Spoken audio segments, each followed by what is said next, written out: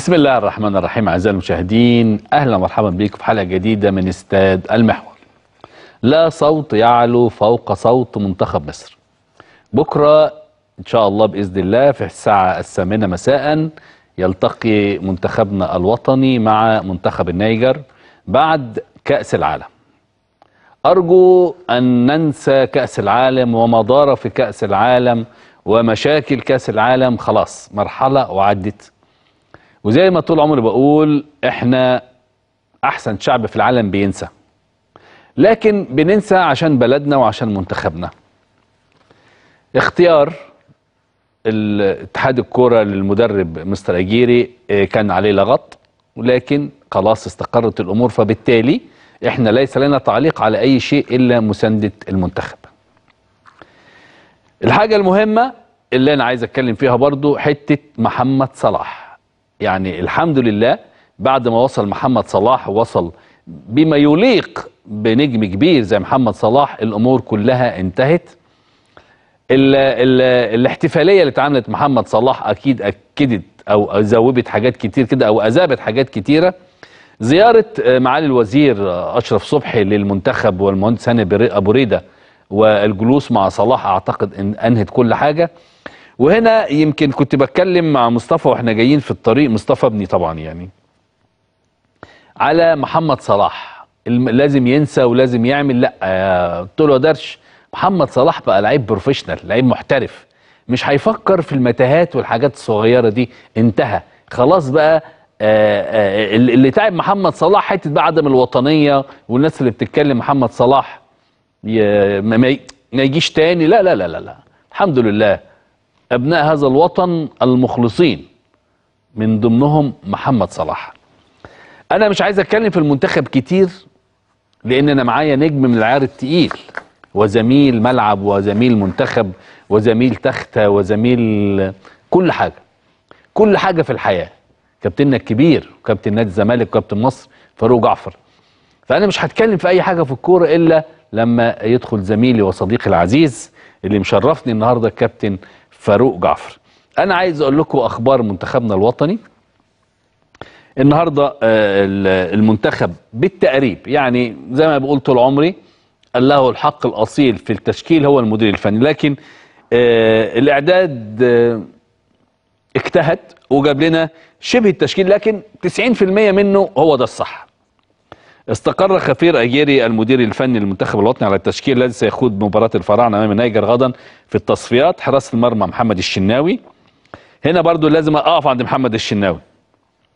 الناس بتتكلم إن محمد الشناوي كان وحش في ماتش اللي فات مع النادي الأهلي. شيء طبيعي. إحنا إحنا مش هنلعب طول عمرنا كويس.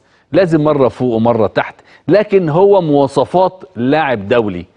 مواصفات لاعب دولي. خط الدفاع أيمن أشرف وعلي جبر وأحمد حجازي وأحمد المحمدي. خط الوسط طارق حامد ومحمد النني ومحمود تريزيجيه. وعمرو وردة الهجوم محمد صلاح وصلاح محسن. وهنا عايز أقف عند صلاح محسن.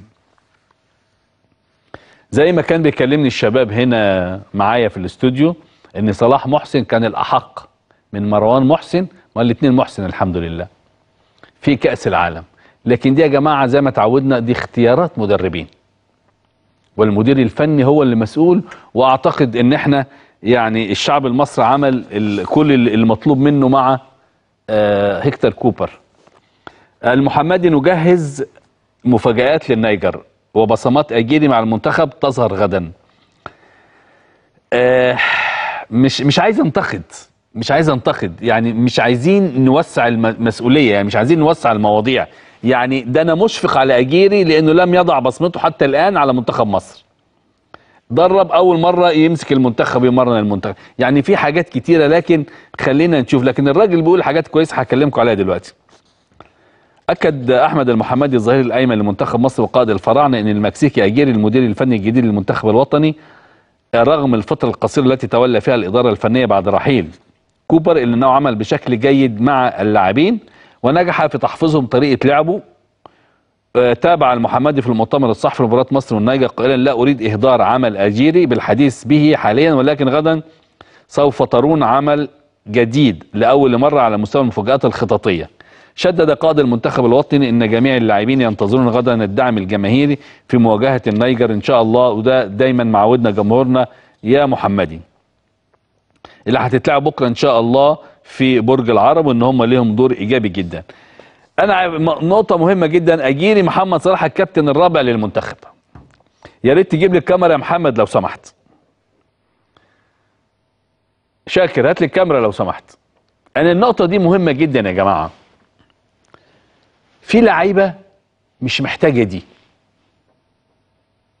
في لعيبة لأن في ناس طلبت إن يبقى محمد صلاح كابتن منتخب مصر. إحنا مش على المستوى الاحترافي برازيل اسبانيا انجلترا ايطاليا. عد.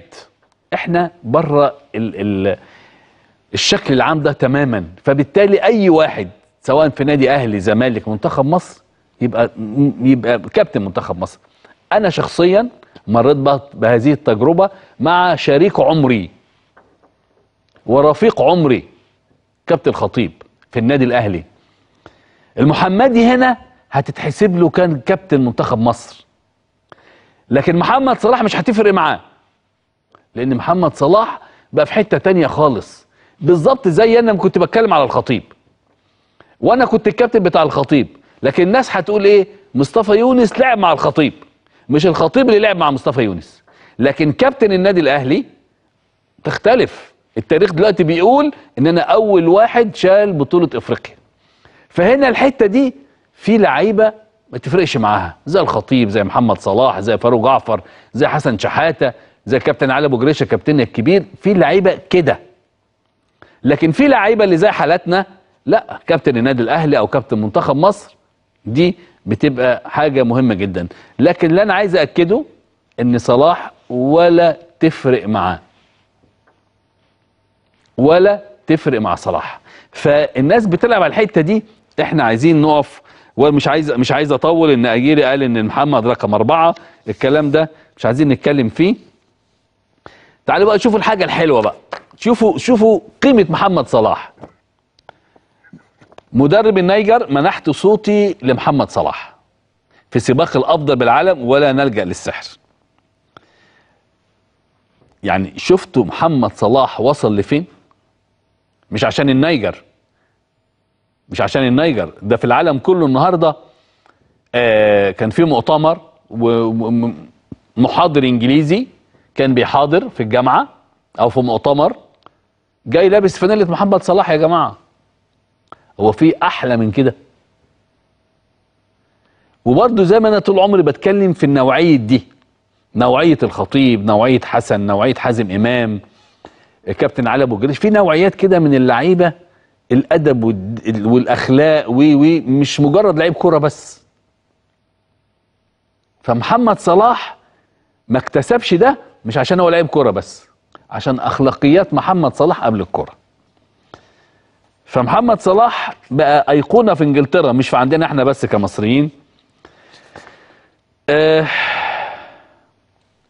فينا تركي الشيخ؟ أتمنى أن يكون منتخب مصر. الفرقة الرابعة في البطولة الودية. نفسنا نفسنا يا باشمهندس هاني أبو ريدة رئيس الاتحاد ال- ال- ال- المصري لكرة القدم يبقى عندنا برنامج لمدة سنة.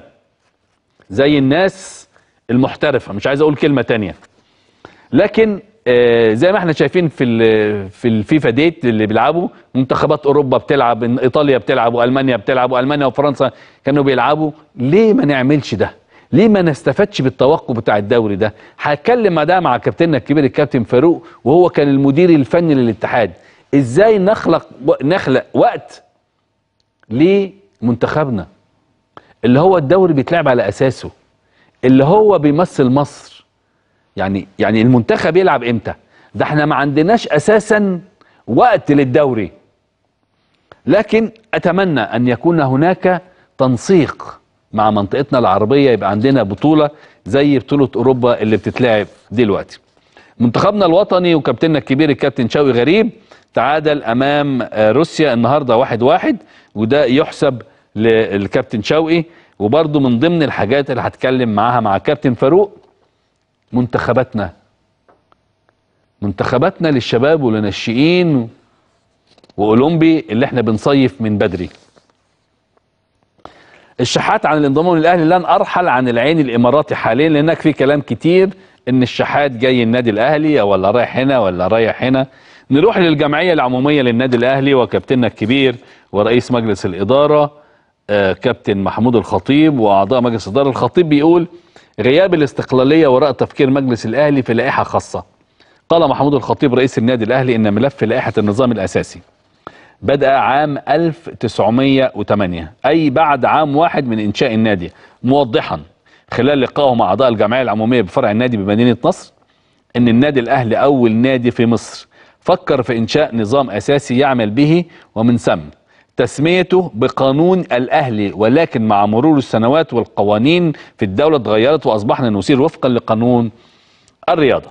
وأوضح أن الأهلي شعر بحالة من القيود بسبب غياب الاستقلالية ومن ثم استنادا إلى ريادة النادي. بدأنا المطالبة عام 2006 بتغيير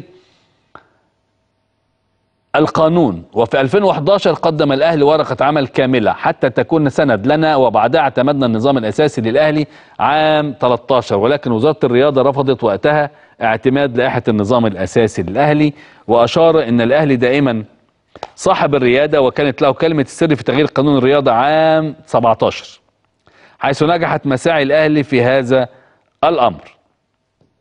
يذكر أن رئيس الأهلي قد بدأ منذ قليل لقاءه المفتوح مع أعضاء الجمعية العمومية بفرع النادي بمدينة نصر لمناقشة مقترحاتهم حول مشروع لائحة النظام الأساسي واستكمال المناقشات التي دارت أمس الخميس خلال اللقاء الذي عقده رئيس الأهلي مع أعضاء الجمعية العمومية بمقر النادي بالجزيرة ويتطلع رئيس النادي الأهلي وأعضاء اللجنة المركزية لمشروع لائحة النظام الأساسي لمناقشة أعضاء الجمعية العمومية في لقاء اليوم والاستم- والاستماع لمقترحاتهم بشأن مشروع اللائحة من أجل الوصول إلى لائحة تحقق كافة مطالب وتطلعات أعضاء النادي. الحقيقة أنا عايز أتكلم هنا في حتة مهمة جدا. ودي أنا قلتها من أول يوم طرحت فيها اللائحة الجديدة للنادي الأهلي. وناس طلعت واتكلمت وأنا اتكلمت في الموضوع ده, ده لكن عايز أأكد عليه. إن مجلس الإدارة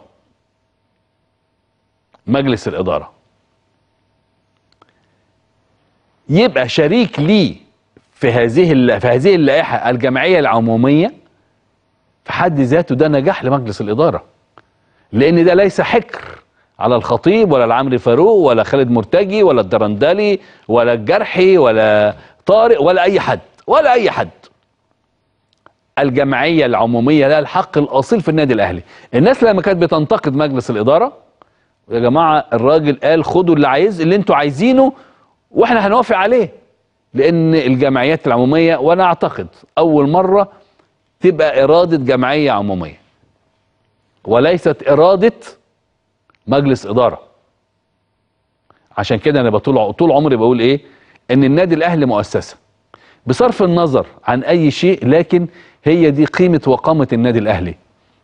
وطول عمري بقول مش تحيز والله العظيم أن الجمعيات العمومية في النادي الأهلي مختلفة عن كل الأندية. لا تنساق ولا رئيس ولا عضو مجلس إدارة ولا الكلام ده. مصلحة النادي الأهلي فين؟ هي وراها. في أمثلة كتيرة من غير ما نخوض في في مواضيع انتهت. لكن تحسب للمرة المليون. تحسب لمجلس الإدارة برئاسة نجمنا الكبير كابتن محمود الخطيب. المهندس كفراوي بيقول إجراء الانتخابات على يوم واحد يضمن الشفافية. طبعا ده العضو مجلس الإدارة الأستاذ إبراهيم الكفراوي من من الشباب المحترم كمان. آه، الأهلي يكشف عن 1600 اقتراح لتعديل بنود مشروع اللائحة. وجه محمود الخطيب رئيس النادي الأهلي كلمة لأعضاء الجمعية العمومية للنادي. في مدينة نصر خلال لقاء باعضاء النادي لمواصله النقاش حول مشروع ال- لائحة النظام الأساسي. ووجه الشكر طبعا للجمعية العمومية اللي تواجدوا طبعا بكثافة وأكد إن الهدف من اجتماعه وندوته اليوم هو حرصه الكبير على الرد على الاستفسارات والنقاشات حول لائحة النظام الأساسي وكذلك سماع أي رؤى أو مقترحات على بنود مشروع اللائحة. هنا بيبو أنا أرفع لك القبعه القبعة. وأوضح إن كل البنود التي شهدت جدلا تم النظر إليها وما زال هناك مناقشات دائرة حتى الآن للنظر في بعض البنود التي تم طلب تعديلها وعرضها على اللجنة المركزية ومجلس الإدارة مؤكدا أن المجلس اعتمد الآن 13 تعديلا على مشروع اللائحة. هنا آه، الدنيا قايمة مش قاعدة على خسارة نادي الزمالك من كليوباترا. يا شباب يا أهل مصر يا جماهير مصر العظيمة يا جماهير الكرة اسمه مباراة حبية مباراة تجريبية عشان تاخد المعنى الحقيقي والص... والحقيقي تجريبية. يجرب لعيبة ويجرب. إحنا الجيل بتاعه بتاع الخطيب وحازم خالد وعصام آه وعصام ومحمود عبد الفتاح الله يرحمه والمجموعة بتاعتنا دي وإحنا تحت 18 سنة كنا بنكسب الفريق الكبير. وإحنا تحت 18 سنة. لأن الدوافع عندنا أكتر من الفرقة الكبيرة. فبالتالي مش عايزين ناخد من خسارة الزمالك النهارده فيلم. الدنيا مقلوبة وأنا جاي تليفونات وسوشيال ميديا و... و... ومدرب كليوباترا طالع يقول لك إحنا ما لعبتش بالفرقة الأساسية. طب ما تطلع دوري ممتاز. لما أنت كسبت الزمالك بال بالفرقة الاحتياطي زي ما أنت ما بتقول طب ما السنة الجاية بقى نشوفك في الدوري الممتاز. والنبي يقول لي كده يا محمد ولا مصطفى هو في ترتيبه كام في الدوري الممتاز؟ في الدوري الدرجة الأولى. مش عيب ده ده ده بالعكس ده دافع للاعيبتك كمان. هو الأول. نتمنى إنه يستمر كليوباترا. وبعدين إمكانيات ما شاء الله الله أكبر. لكن ما يبقاش ده نصيحة. نصيحة من واحد مجرب كتير في الحتة دي. ماتش الزمالك ده ممكن يخسرك الماتش اللي جاي. ماتش الزمالك اللي أنت كسبته إذا ما عدلتش فرقتك ولاعيبتك ممكن يخسرك الماتش اللي جاي. أنا مش عايزك أطول أكتر من كده لأن الوقت بي- بيسرقني عشان معايا نجم من نجوم الكبار الكابتن الكبير الكابتن فاروق جعفر عشان نتكلم في كل حاجة كل ما يخص كرة القدم. لما يبقى واحد بحجم فاروق جعفر يبقى أكيد هندفع هنفتح منتخب منتخبات منتخبنا الكبير آه الدوري التعديلات الخمس أفارقة وال- والسبع أفارقة والعشر أفارقة من 25 ل 30 وهو مدير فني لاتحاد الكرة. إزاي طلعنا من كل البطولات للناشئين؟ الحته التانية المهمة أول سؤال هسأله للكابتن فاروق وهو بيتفرج عليا دلوقتي. ما الفرق ما بين الكرة في مصر أيام جيلنا إحنا والجيل الحالي؟ أطلع فاصل وأستقبل نجمي الكبير كابتن مصر وكابتن نادي الزمالك صديق ورفيق الدرب كابتن فاروق جعفر.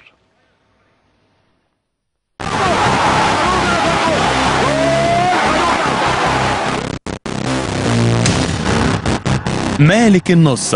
أسطورة لن تتكرر. فاروق جعفر. أو ملك النص كما يعشق جماهيره أن تلقبه. أحد نجوم نادي الزمالك. فترة السبعينيات والثمانينيات. حيث تميز بالمهارة التي لفتت أنظار جماهير القارة الإفريقية والعالم العربي كله واحد الزمالك الاسماعيلي صفر لكن الزمالك ولد فاروق جعفر في قرية توماس بأسوان عام 1952 وحصل على بكالوريوس في التربية الرياضية وأول من شاهد موهبته ميمي درويش لاعب الإسماعيلي السابق وسيد الطباخ لاعب القناة والأولمبي عن طريق دور الفصول وكان عمره وقتها سبع سنوات. ملك النص. الذي حير مدافعي مصر بمهارته الفائقة. جعلت الجميع يحب الفتى الأسمر حين ذاك. فاز مهندس نادي الزمالك بلقب أحسن لاعب في الدوري أكثر من مرة مع العديد من البطولات مع القلعة البيضاء والمنتخب. ويحل فاروق جعفر ضيفا على استاد المحور مع الإعلامي مصطفى يونس. للحديث عن مواجهة المنتخب الوطني المصري المترقبة أمام النيجر بالتصفيات المؤهلة للأمم الإفريقية 2019 بالكاميرون.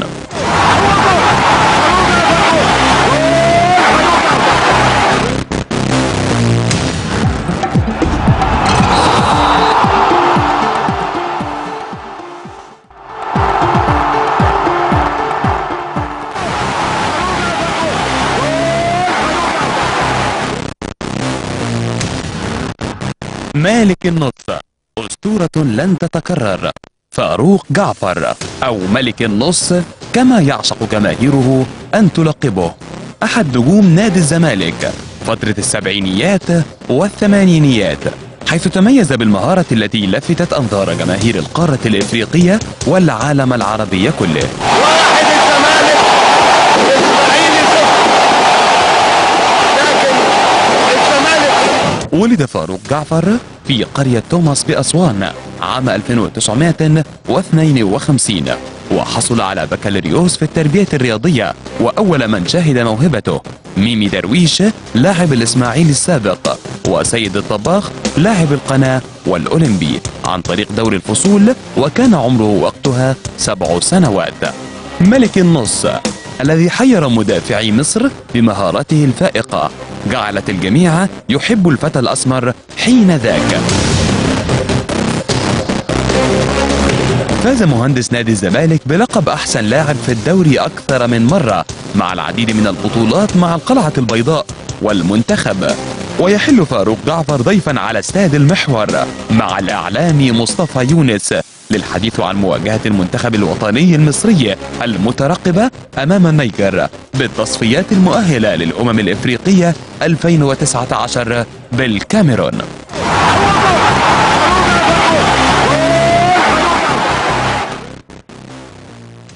أهلا بحضراتكم مرة تانية مع نجمنا الكبير وزميل الدراسة ورفيق الدرب والعمر وكل حاجة زي ما قلت لكم.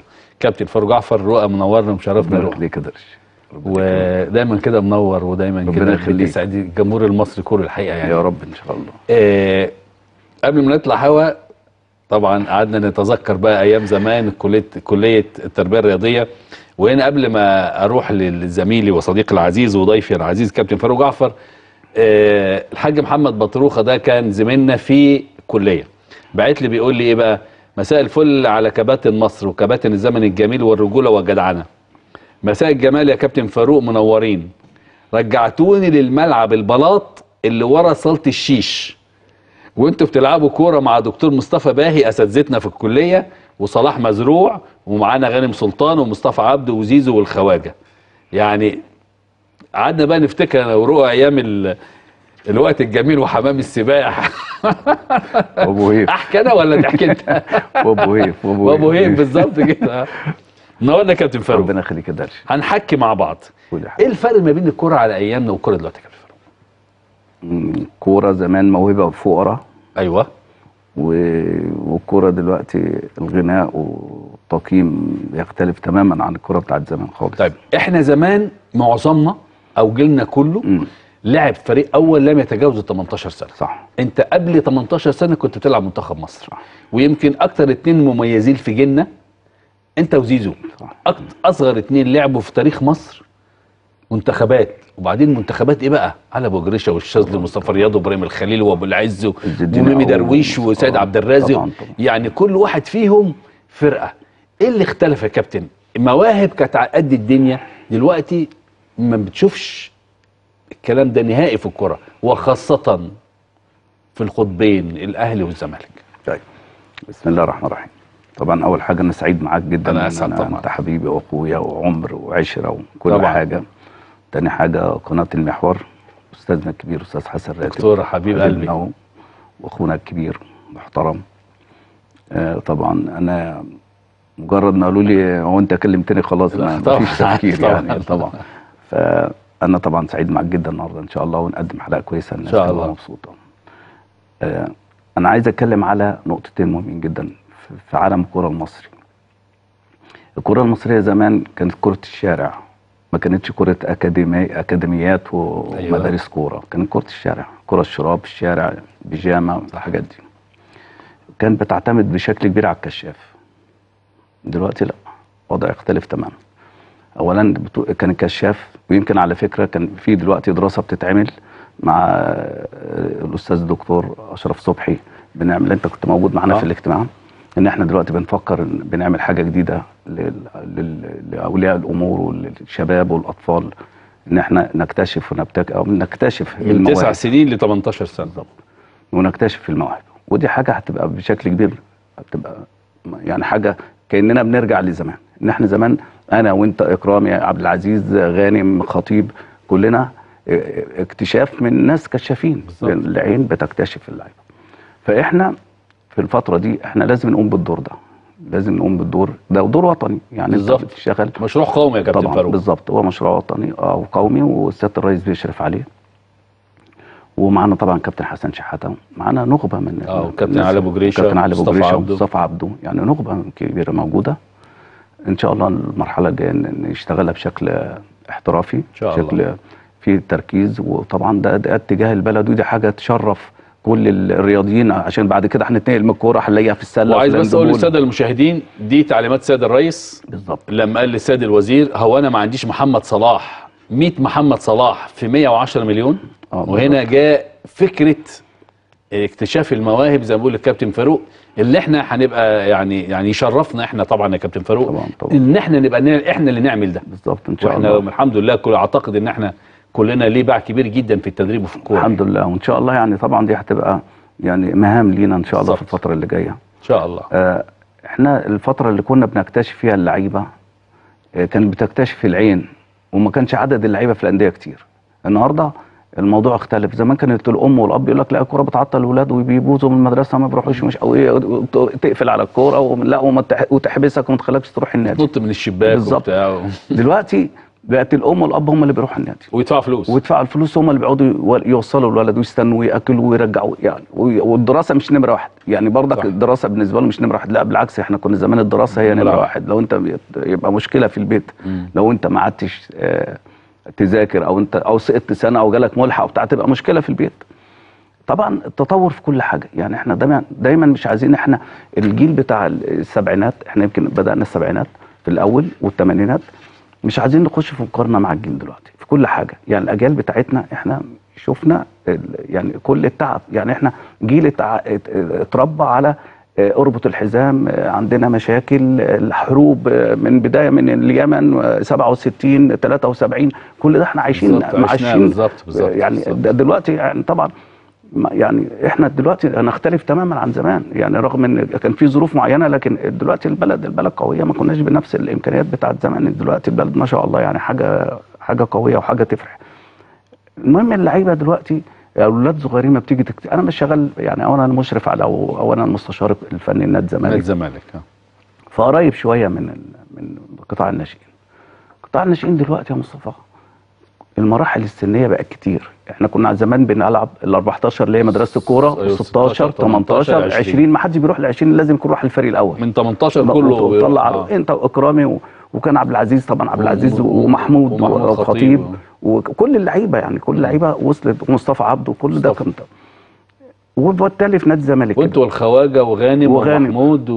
وك- بس علي كان أكبر مننا علي خليل شوية بس آه. آه بس كله كان يعني إحنا كنا 17 سنة كنت في ثانية ثانوي في. المنتخب يعني آه. كنا معايا في المدرسة فالحمد لله يعني إحنا نتمنى الفترة اللي جاية إن كل ال- يعني الآراء أو كل وجهات النظر أو كل الكشافين اللي هيشتغلوا في المرحلة اللي جاية يبقى عندهم طموح إن هو يعمل جيل يعني ما يعملش لاعب هو في قضية كبيرة دلوقتي إن كل واحد بيتباهى إن هو عمل لعيب يعني انت معنى كده ان كل واحد بيعمل لعيب يعني انت هيبقى عندك 50 60 مكتشف. لا إحنا عايزين اثنين ثلاثة مكتشفين بشكل آه، أو مساحة رؤية كبيرة ومستقبلية بشكل كويس ويبتدي يشتغل إن أنت تعمل جيل. أجيال يا كابتن. آه يعني أنا كل واحد يتبنى جيل. آه، آه يعني آه. أنا مثلا همسك مثلا جيل مواليد كذا وأنت هتمسك جيل مواليد كذا كابتن حسن شحاته هيمسك جيل كابتن علي بجريش نبقى أجيال بنشتغل وكلنا بنسلم بعض بنسلم بعض، آه. في الأجيال. آه، زمان ما كانش كده. أنت زمان عشان تكتشف لعيب مشكلة. إن ما عندكش نادي يجمع اللعيبة. ما عندكش مدرسة فيها بطولات تجمع اللعيبة كل ده كل بنتكلم في الشارع انت عشان تبقى بطو... مثلا في رمضان بتلعب دورة مجمعة أو في الشارع بتلعب دورة بتروح تكتشف الولاد وتلاقي المدرب بيروح أو الله يرحمه الكابتن مصطفى حسين كابتن حلمي كابتن آه، حلمي حسين كابتن حماده الشرقاوي كان في. يعني. في أو كب- قيمات كبيرة جدا. آه، كابتن إبراهيم الوحش كان كل دول بينزلوا الشوارع يتفرجوا على اللعيبة دلوقتي لا. دلوقتي بقى في بقى نظام تاني. أنا مش عايز أسبق اللي قدام بس أنا عايز. عايز عايز يعني حتة مهمة جدا يا كابتن فاروق اللي أنا بسألك عليها. حتة المواهب. إحنا زمان وإحنا بنلعب كنت تروح تجيب بونت من المنصورة تبقى بطل. تروح تجيب بونت من الاتحاد تبقى يعني تمام. جاي منتعش في القطر مش في الأتوبيس. الأولمبي الإسماعيلي. دلوقتي أندية اختفت. أندية اختفت. منصورة فين؟ أولمبي فين؟ طب ما أنا عايز عايز عايز أمشي؟ معاك عايز آه. أمشي معاك في الحتة دي آه، إحنا بعد كده بنتكلم على المواهب المواهب المواهب دي هي اللي بتعزز الفرق اللي بتقدر تبني عليها بعد كده في المستقبل وتأسس لعيبة في المستقبل تبقى عندك يعني النادي الأهلي لما كان يزق مثلا أربع خمس لعيبة كل سنة ثلاث أربع لعيبة كل سنة الزمالك يزق له ثلاث أربع لعيبة كل. سنة بالظبط دلوقتي لأ ده النهارده لما بتشوف اللعيبة أنا عايز بس مش عشان ما نخشش على حتة يا مصطفى إن إحنا نتكلم على الأندية اللي, اللي عارف مش هقول بقى اللي انهارت الأندية اللي اختفت. اختفت. آه ما لازم يكون في سبب. مش ممكن نادي بحجم المنصورة المحلة آه، مثلا. طنطا الأولمبي كل الأندية الكبيرة دي. في أندية كبيرة كان الأندية. بتكسب الأهلي والزمالك ما بنعرفش بالظبط، نكسبها. دلوقتي مش موجودة. دي مش موجودة ممكن ممكن تكون سياسة رياضية مش ناجحة. يعني ممكن تكون سياسة رياضية مش ناجحة. هو على فكرة معظم باستثناء أهلي وزمالك وإسماعيلي والمصري كل الفرق الشعبية والاتحاد. انهارت والاتحاد السكندري طبعا. آه الأندية دي كلها انهارت. ما فيش أندية دي مش موجودة ما المصري كان لحد قبل حسام حسن كان بي- بينافس على الهبوط. طبعا. الاتحاد قبل الحاج محمد مصلحي كان بينافس على الهبوط. تمام تمام. وكمان كمان عايز أقول حاجة. كان في الفترة اللي فاتت الاهتمام جدا بالشركات والمؤسسات وكده. وده وده في في تصوري وفي المعايير أو في التنظيم ده مش نجاح. إن أنت المؤسسة يعني بتشتري لعيبة يعني ما بتبنيش لعيبة يعني ما تمسك الفرق اللي هي المؤسسية مثلا باستثناء إم بي هتلاقي كل الفرق دي ما عندهمش قطاع ناشئين بيشتري لعيبة يعني تيجي تمسك مثلا سموحة ما عندوش. قطاع يعني على عنده قطاع ناشئين مش مش مميز يعني ما طلعش حد من قطاع الناشئين للفريق الأول آه المصري عنده لعيبة بتطلع لكن أهلي وزمالك ومصري وإسماعيلي عندهم هم دولت واتحاد اسكندري دولت ما بيطلعوش حد لا, يعني دلوقتي بقى إحنا هاجي بقى. هاجي بقى دلوقتي ليه الأهلي والزمالك ما طلعوش لعيبة وبرضك المصري يعني المصري المصري. عشان تزق لعيب بالعافية. الاسماعيلي بالعافية برضك أنت عشان تكتشف لعيب دي مشكلة دلوقتي بقى في اتجاه كبير جدا في في الكورة أنا رايح نفسي ويجيب جاهز وعندي بشوف لعيبة وبختار اللعيبة وابتدي أتفاوض مع ال- اللي هو وكيل اللعيبة يبتدي يتفرغ أو الأندية تتفرغ مع وكيل اللعيبة ويبتدي يشتغلوا إن هم يجيبوا اللعيبة الجاهزة وولاد النادي اللي هم العناصر اللي هو انت المفروض بتبني عليهم والمؤسسة وده كان يمكن انت كنت بتتكلم على الفكر بتاع سيادة الرئيس آه. إن إن يبقى عندنا آه، ألف محمد صلاح وده وده لازم تحط لها معايير يعني وبرضك مش. طبعا لازم نحط لها معايير ومراحل ما إحنا سنية برضو عايزين نقول للناس يا كابتن فاروق طالما فتحنا الموضوع دوت إن ال- المشروع ده بتاع سيادة الوزير اللي هيشرف عليه سيادة الرئيس إن مش مجرد لعيب كره وخلاص لا الموضوع أبعد من كده بكتير مش كده؟ طبعا. طبعا. في الناحية الفنية في ناحيه التغذية في علم النفس في الناحية الطبية في كل محاور كرة القدم إن إحنا نعمل 100 محمد صلاح. طيب أنت عشان تعمل محمد صلاح لازم اولا يعني طبعا أنا طبعا ما كنت نفسي أتكلم عن محمد صلاح. هنتكلم عن هو آه، يعني, يعني عن محمد صلاح. يعني أنت عارف. هنتكلم عليه طبعا يعني. يعني يعني عايز أقول محمد أنت شفت صلاح الراجل اللي بيدرس النهارده الإنجليزي اللي جايب تيشيرت محمد صلاح في المحاضرة؟ طبعا طبعا طبعا. أنا يمكن عملت معاك مداخلة أيوه بالظبط امبارح بتكلم- اللي يوم ال- آه. الاثنين آه. عملت معاك مداخلة كنت بتكلم على صلاح. المهم أنت لما بتيجي تختار الولاد العناصر الصغيرة دي لازم تحط معايير في الاختبارات. اولا الولد ده لازم يكون متعلم. إن أنت عندك مشكلة اللعيبة اللي قبل كده اللي سبقت اللعيبة محمد صلاح لما راحت إنجلترا أو سافروا أي بلد ما عندهمش اللغة فرجعوا. فبقت مشكلة عندهم. بالظبط. يعني بقت صدمة عندهم مش عارف يعني يتأقلم ما هو مش قادر فعايز يتعلم هل هيتدرب ويعمل محاضرات زي محمد صلاح ما محمد صلاح ده يعني ذاكر. اتطور اتطور، وز- صح. و- وتعلم اللغة آه، إحنا عايزين الأجيال اللي جاية دلوقتي في تطور أفضل دلوقتي في الجيل الحالي تطور أفضل إن كل معظم الوقت بياخدوا اللغة الإنجليزية موجودة عندهم في اللي هي اللي هي يعني اللغة الأولى آه، عندنا كمان إن الو- الواحد زي ما بتفكر أنت تعمل مشروع لازم تفكر إن الم- المشروع ده لازم يجيب فيه الجانب العلمي. يعني زي ما بتكلم على الجانب الفني البدني التغذية ال- العامل النفسي ال- فأنت كمان لازم تكمل الناحية العلمية. يعني أنت مش هتقول لعيب كره وبس. يعني لعيب كره وبس هتبقى صعب جدا. ولا أهل هيرضى ولا مجتمع هيرضى ولا أي حد ولا حتى اللعيب ذات نفسه هيرضى. فلازم تبقى تحت يعني متعلم. يبقى حتة التعليم دي ماشي. إحنا بنحط المعايير للعيب الكورة. اولا نتكلم على المواهب. مفيش واحد هيبقى لعيب كورة من غير موهبة. بالظبط. فنمره واحد عنده الموهبة. نمرة اتنين انت زي ما تجيب تعمل بقى أساس بتبني وعايز تحشي الأساس لكن الأساس موجود أيوة. الموهبه عايز تحشي بقى لياقة بدنية علم نفس رياضي تغذية برامج بتشتغل عليها عشان تبني للعيب ده وتبقى مديله مساحة رؤية إن هو كمان يكون اللعيب عندك يساعدك عنده. طموح.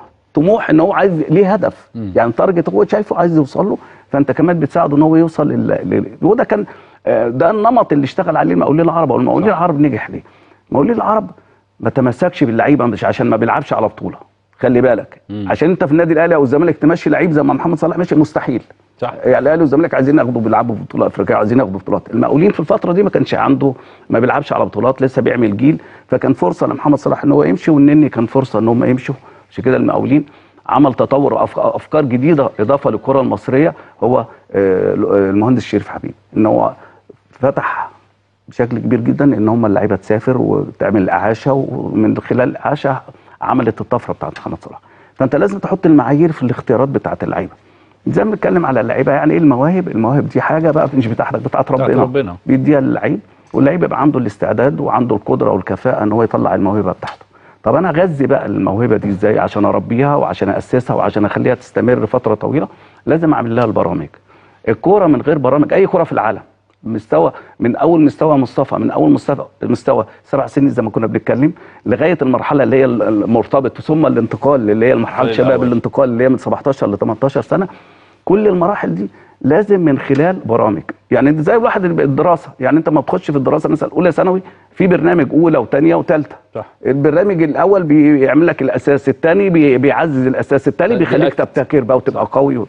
فده اللي بقى ده البرامج أو المناهج يعني بالمعنى اللي يعني العلمي شوية. علمي فأنا بتكلم دلوقتي إن إحنا لازم نبقى بنتكلم الكورة بقت ثقافة دلوقتي. الكورة بقت علم الكورة بقت رؤية الكورة بقت مستقبل بقت اقتصاد.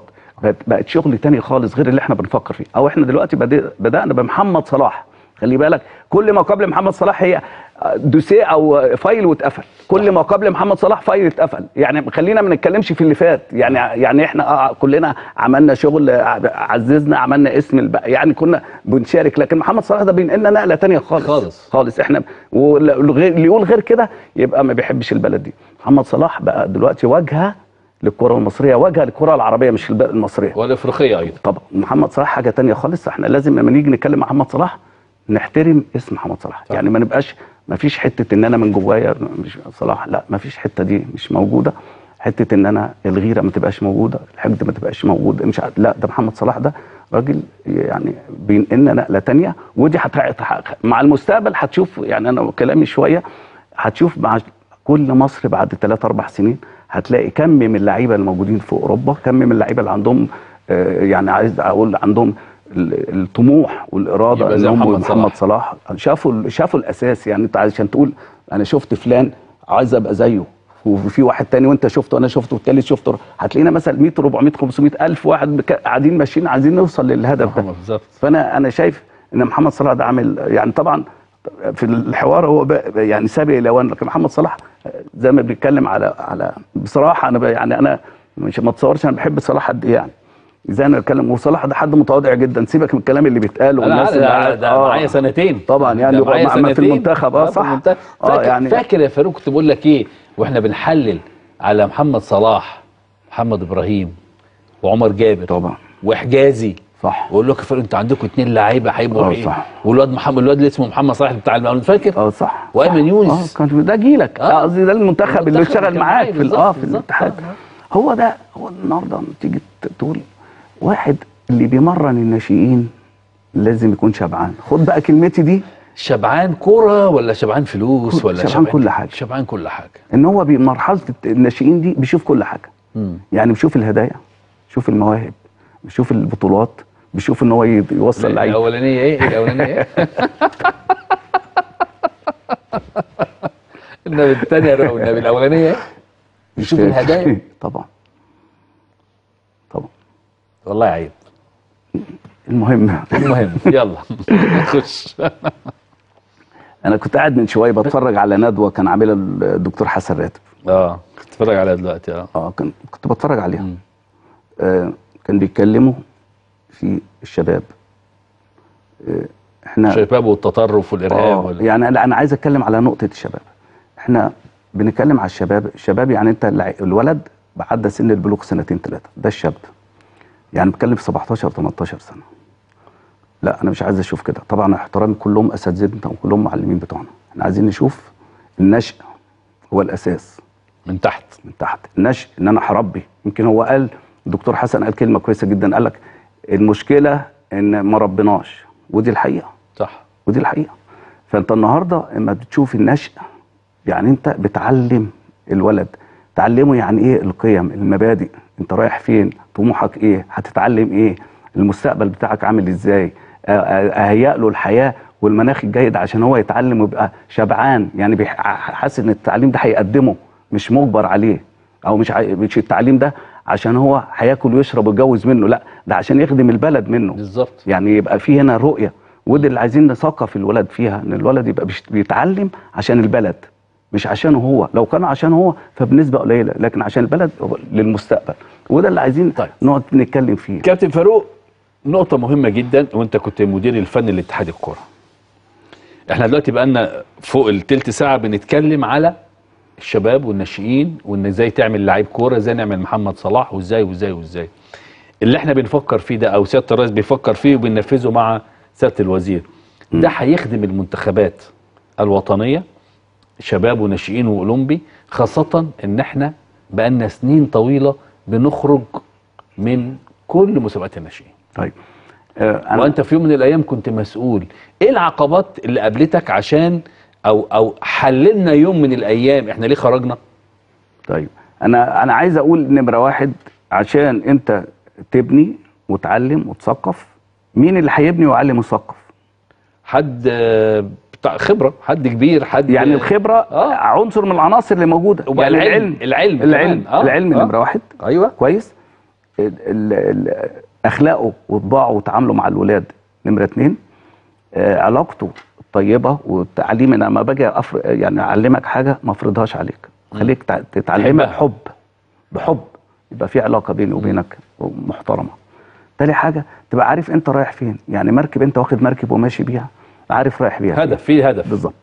هو ده ده التصور اللي موجود المفروض أنت لما تيجي بت- بتشتغل مع قطاع الناشئين. أنا مثلا كنت في اتحاد الكورة. بشتغل أيوة. مدير فني في اتحاد الكورة.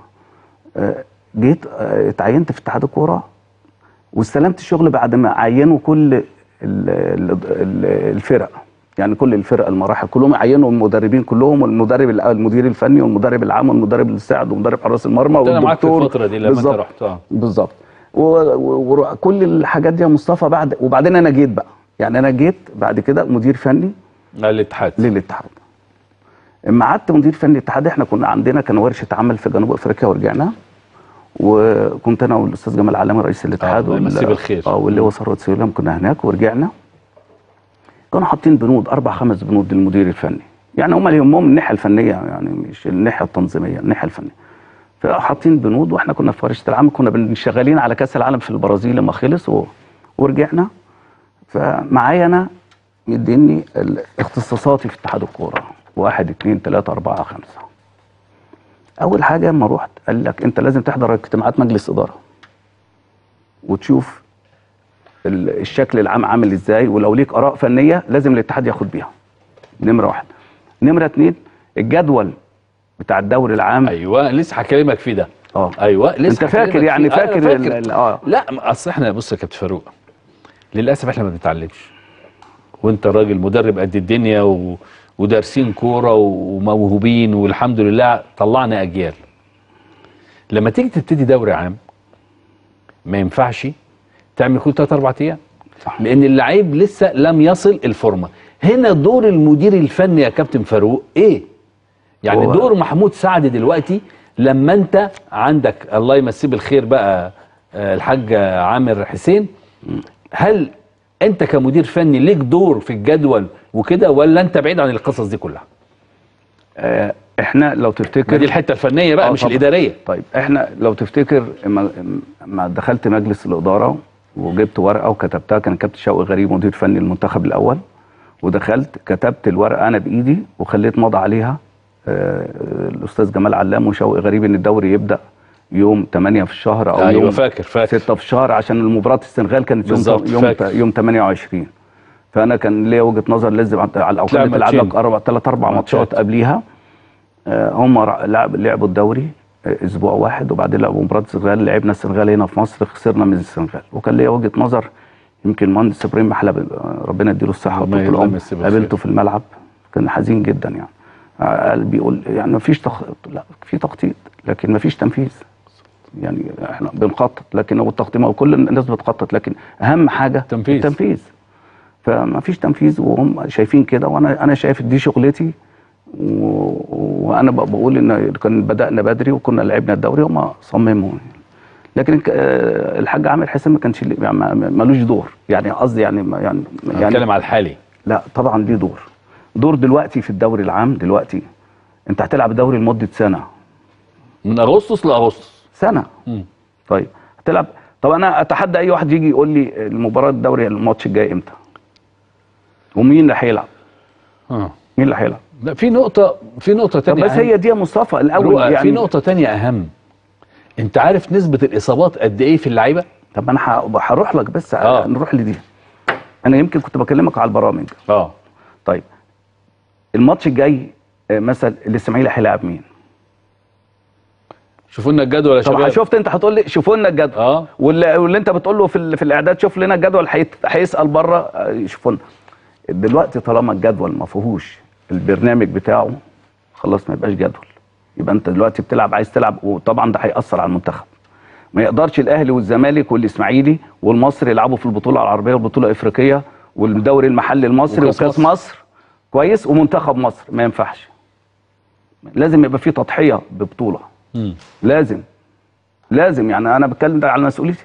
لازم. وأنا بتكلم فني ما حدش يقدر يكلمني في الفنيات. في ده. يعني ما حد آه، أنا هتكلم آه فنيات. يعني ما حدش يقدر بالظبط. بالظ- يعني ما فيهاش يا مصطفى جدل. يعني صح. يعني إيه؟ يعني أنا أمسكك أرهقك ألعبك تبقى في منتخب مصر. وبعدين تبقى بعد افتكر إحنا كنا في آه، الناشئين في منتخب مصر. ما بيلعبوناش في الناشئين. آه. يعني كرامر كان بيضغط على الكوري لا مش هيلعبوا. خلاص مش هنلعب في تحت.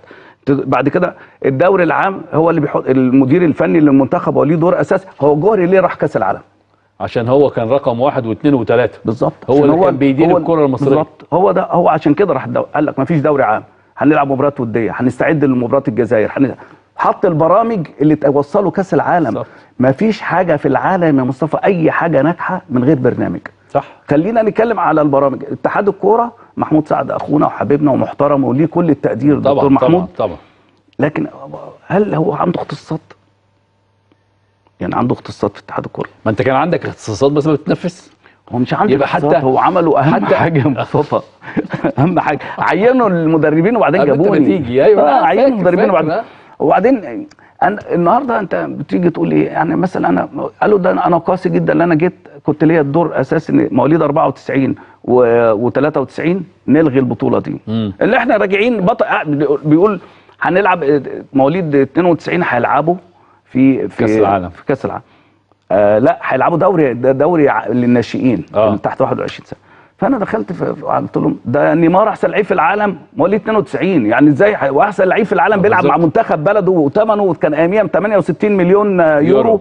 ده ده مواليد 92 مواليد 92 هو إزاي؟ يعني إزاي انت هتجيبه؟ انت عايز تعمل بطولة في, في نفس السن ده وانت عندك احسن لعيب في العالم مواليد 92 يعني انت مش شايف بره. يعني انت صح. مش شايف مين نيمار ده اللي هو احسن لعيب كرة في العالم. اللي ده اما اتعور في البرازيل وإحنا الطيارة نزلت خدته يعني وده وده الواجهه بتاعت يعني انت تعرف اسم رئيس البرازيل؟ لا.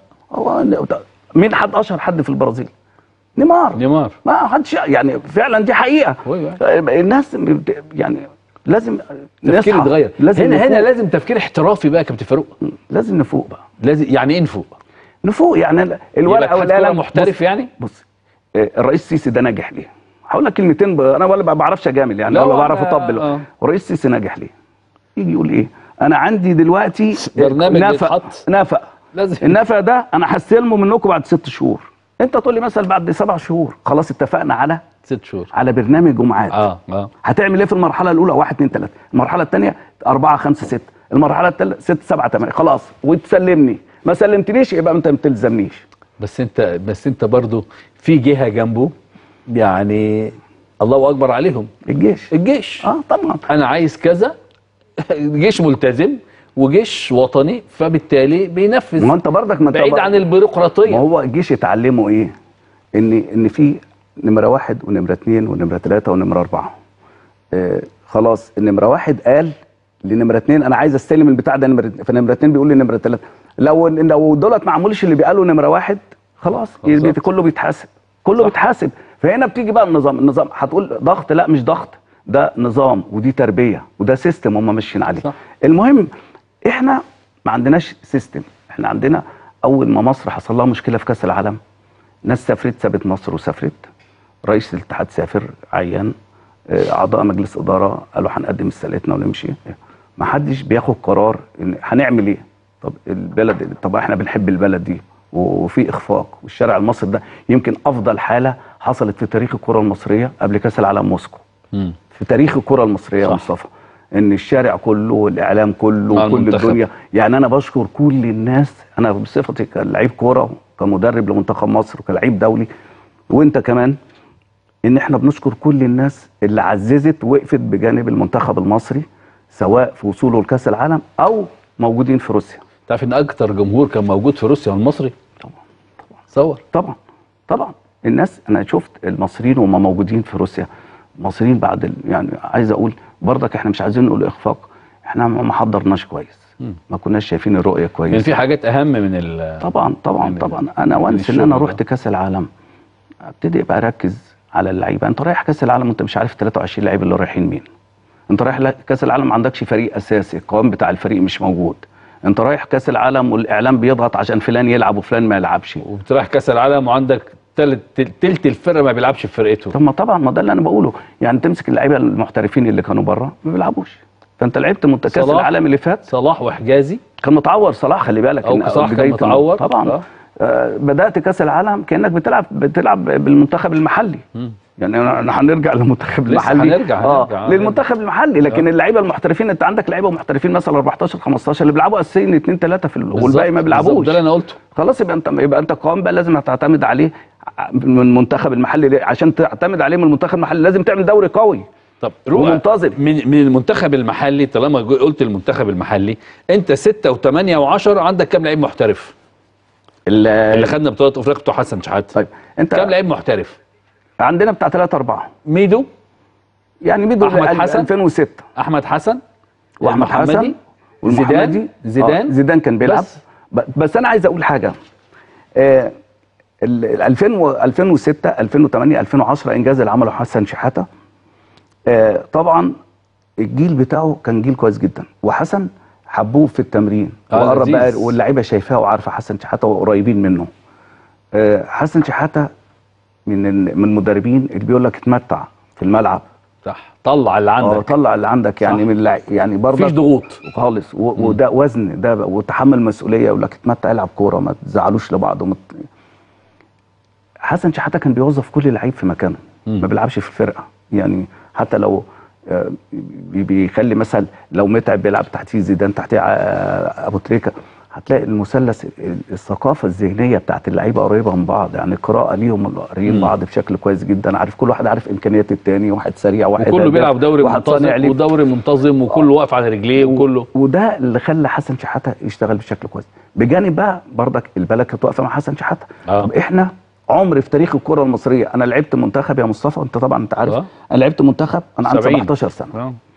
أنا وعبد العزيز عبد الشافي لعبنا وإحنا صغيرين عمري أنا في م... يعني أنا كم... كلعيب وكمدرب ومدرب لمنتخب مصر في حياتي ما شفتش مساندة من البلد غير في كأس العالم اللي فات أو وصول مصر للبطولة. الافريقيه ال 90 كابتن كان الكابتن جوهري الكابتن جوهري وطبعا هو قلل قلل عبد الأحد جمال الدين الله يرحمه. الله يرحمه الدكتور عبد الأحد وبدأوا يشتغلوا إن هو بالقوة والتركيز وبالمباريات الكب- كتير. الكتير والإمكانيات ما كانتش زي دلوقتي دلوقتي إمكانيات هو كان في حاجة اسمها طيارة تطلع طيارة خاصة تاخد اللعيبة وتروح وأوتيل يتنقل اللعيبة الأوتيل بس المنتخب قاعد فاكر سافرنا نيجيريا إزاي؟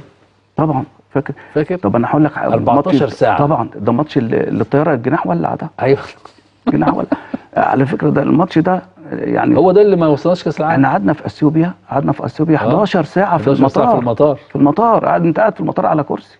11 على فاكر الدكة فاكر. فاكر إحنا نمنا في الطيارة يا فاروق في الطرقة. طبعا. وصحيا وفنيا وكل حاجة. ممنوع. طبعا. ده أنت مطب ظهرك يتكسر. طب أخطر من كده بقى ما أنت وصلت هناك. طب آه، ما رحنا ليجوس. آه، أنا فاكر يعني أنا فاكر كأني النهارده بالظبط. روح رحنا ليجوس. قعدنا لغاية تاني يوم عشان ناكل. ما كانش فيه أكل. والله مش بهزر. فاكر فاكر مش ولعيبة زمايلنا كانوا بيعيطوا. إحنا ما. كناش من امبارح. آه، آه. ودي كانت حقيقة. ها، النهارده بقى الطيران انت فاكر فاكر الماتش لما خلص؟ حمامة قال إيه؟ الماتش طبعا. خلص آه. فحمامة طالع قدامي كده. فأنا جاي بقى مغلوبين أربعة. آه طبعا. فلقيت حمامة بيقول لي مصطفى هو الحكم صفر ليه؟ هي مش الفرقة من, من ستة؟ ستة آه.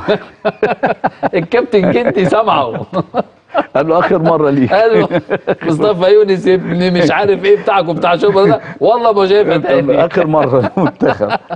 خلينا نطلع فصل يا كابتن فاروق وارجع لكم تاني والحديث الشيق مع نجمنا الكبير كابتن فاروق جعفر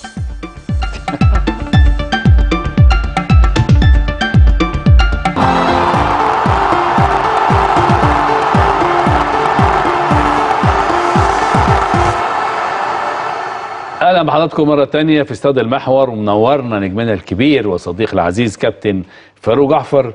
كابتن فاروق الدوري المصري يخدم منتخب مصر ولا ما يخدمش منتخب مصر؟ في اللي إحنا قلناه ده كله. هو الدوري المصري في الوقت الحالي آه. لا ما يخدمش. ليه؟ الاسباب الاسباب اللعيبة دلوقتي مش عارفة تخش فورمه الفرق بين المباراة كبير وبعدين انت بتلعب في مدارس مختلفة مدارس يعني بتلعب في بطولة محلية وبعدين تقوم خارج في بطولة عربية وبعدين تقوم خارج في بطولة إفريقية.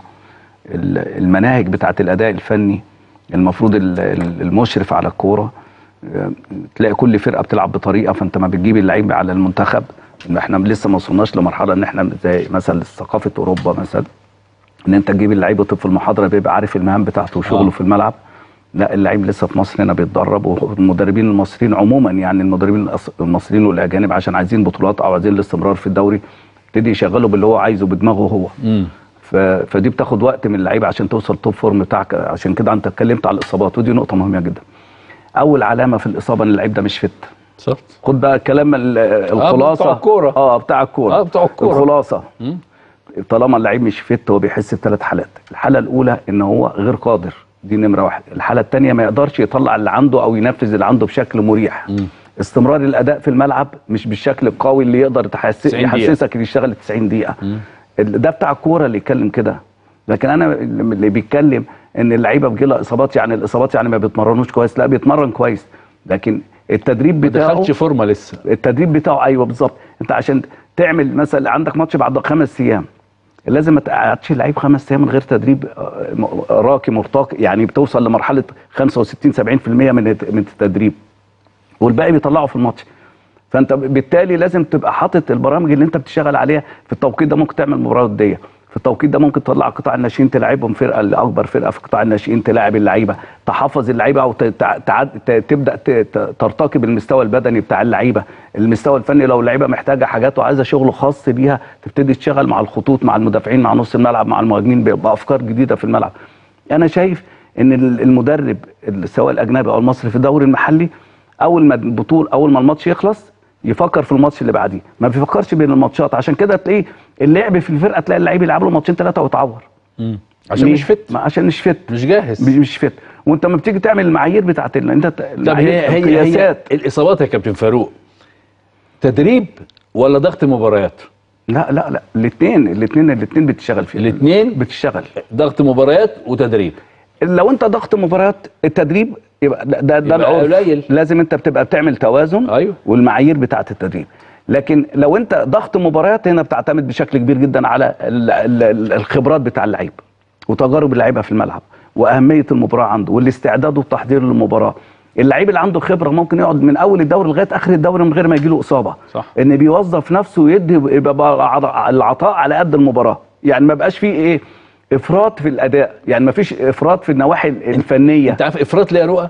لأن المدربين جداد وكل واحد عايز يطلع أقصى صح. ما عنده عشان يبقى صح. أساسي في الفرقة. صح. أنت بتتكلم كده صح. أنت كده بتتكلم صح. إن كل سنة بتجيب مدرسة شكل. كل سنة بتجيب مد- مدرب من مدرسة شكل. من النادي الأهلي نجح ليه؟ وده السر. ده السر الناس لازم تبقى فاهمها النادي الأهلي عمل أكبر إنجازات مع جوزيه عشان جوزيه مستمر. بالظبط. فهو استقرار. حافظ اللعيبة. استقرار. الاستقرار الفني بيجي من عند المدرب بالظبط، ما بيجيش. من عند اللعيب. انت اللعيب ده أدوات من الأدوات بتاعتك اللي هو الاستقرار الفني. جوزيه هو ده سر النادي الأهلي. حدش بيقول كده. سر النادي الأهلي ان جوزيه قعد سبع سنين ثمان سنين مع الفرقة. اللعيبه حفظته عارف عارف قدرات اللعيبة إيه؟ احتياجات اللعيبة إيه؟ لعب اللعيبة. اللي بره زي اللي جوه زي المدرب. خلاص كل اللعيبة آه، جاهزة. كل اللعيبة جاهزة. يخلص المباراة الرسمية يقوم رايح على مباراة ودية بالسكن. أو الفرقه اللي ما لعبتش يقوم لاعب بيها مباراة ودية. فكل اللعيبة في حالة استعداد وكل اللعيبة فورمة وكل اللعيبة مفيش بعيده عن الإصابات. طب أنت جبت حتة أنا كنت هتكلم فيها النهارده معاك. أنت اتكلمت فيها. وعلى رأسهم الأهلي والزمالك يا رؤى. تمام. لما بتيجي تلعب ماتش بتجيب مين تلعبه؟ أجيب فرقة صغيرة. طبعا أجيب فرقة أتعلم مين عليها اللي أشتغل. بيستفاد؟ مين اللي بيستفاد؟ الصغير الصغيرة. ولا أنت؟ الصغيرة. الصغيرة. آه. النهارده الزمالك بيلعب سيراميكا كليوباترا. بيراميدز جاب الافريقي التونسي. مم. وبيلاعب المجموعة من اللي اللي ما لعبتش. أكتر حاجة قلقتني على النادي الأهلي النهارده يا فاروق. أنا بتكلم بقى كأهلاوي. آه. لأن الاستعدادات مختلفة عن كل الأندية. نادي الزمالك أو النادي الأهلي بيلعب سيراميكا كليوباترا بيراميدز بيجيب الافريقي التونسي. آه. هنا تقدر تجهز لعيبتك فنيا وبدنيا. شايف ال ال ال الحاجة الجديدة على على مصر إزاي دي؟ أنا تفيد ولا تضر؟ يعني هي حسب حسب احتياجات المدرب أو رؤية المدرب.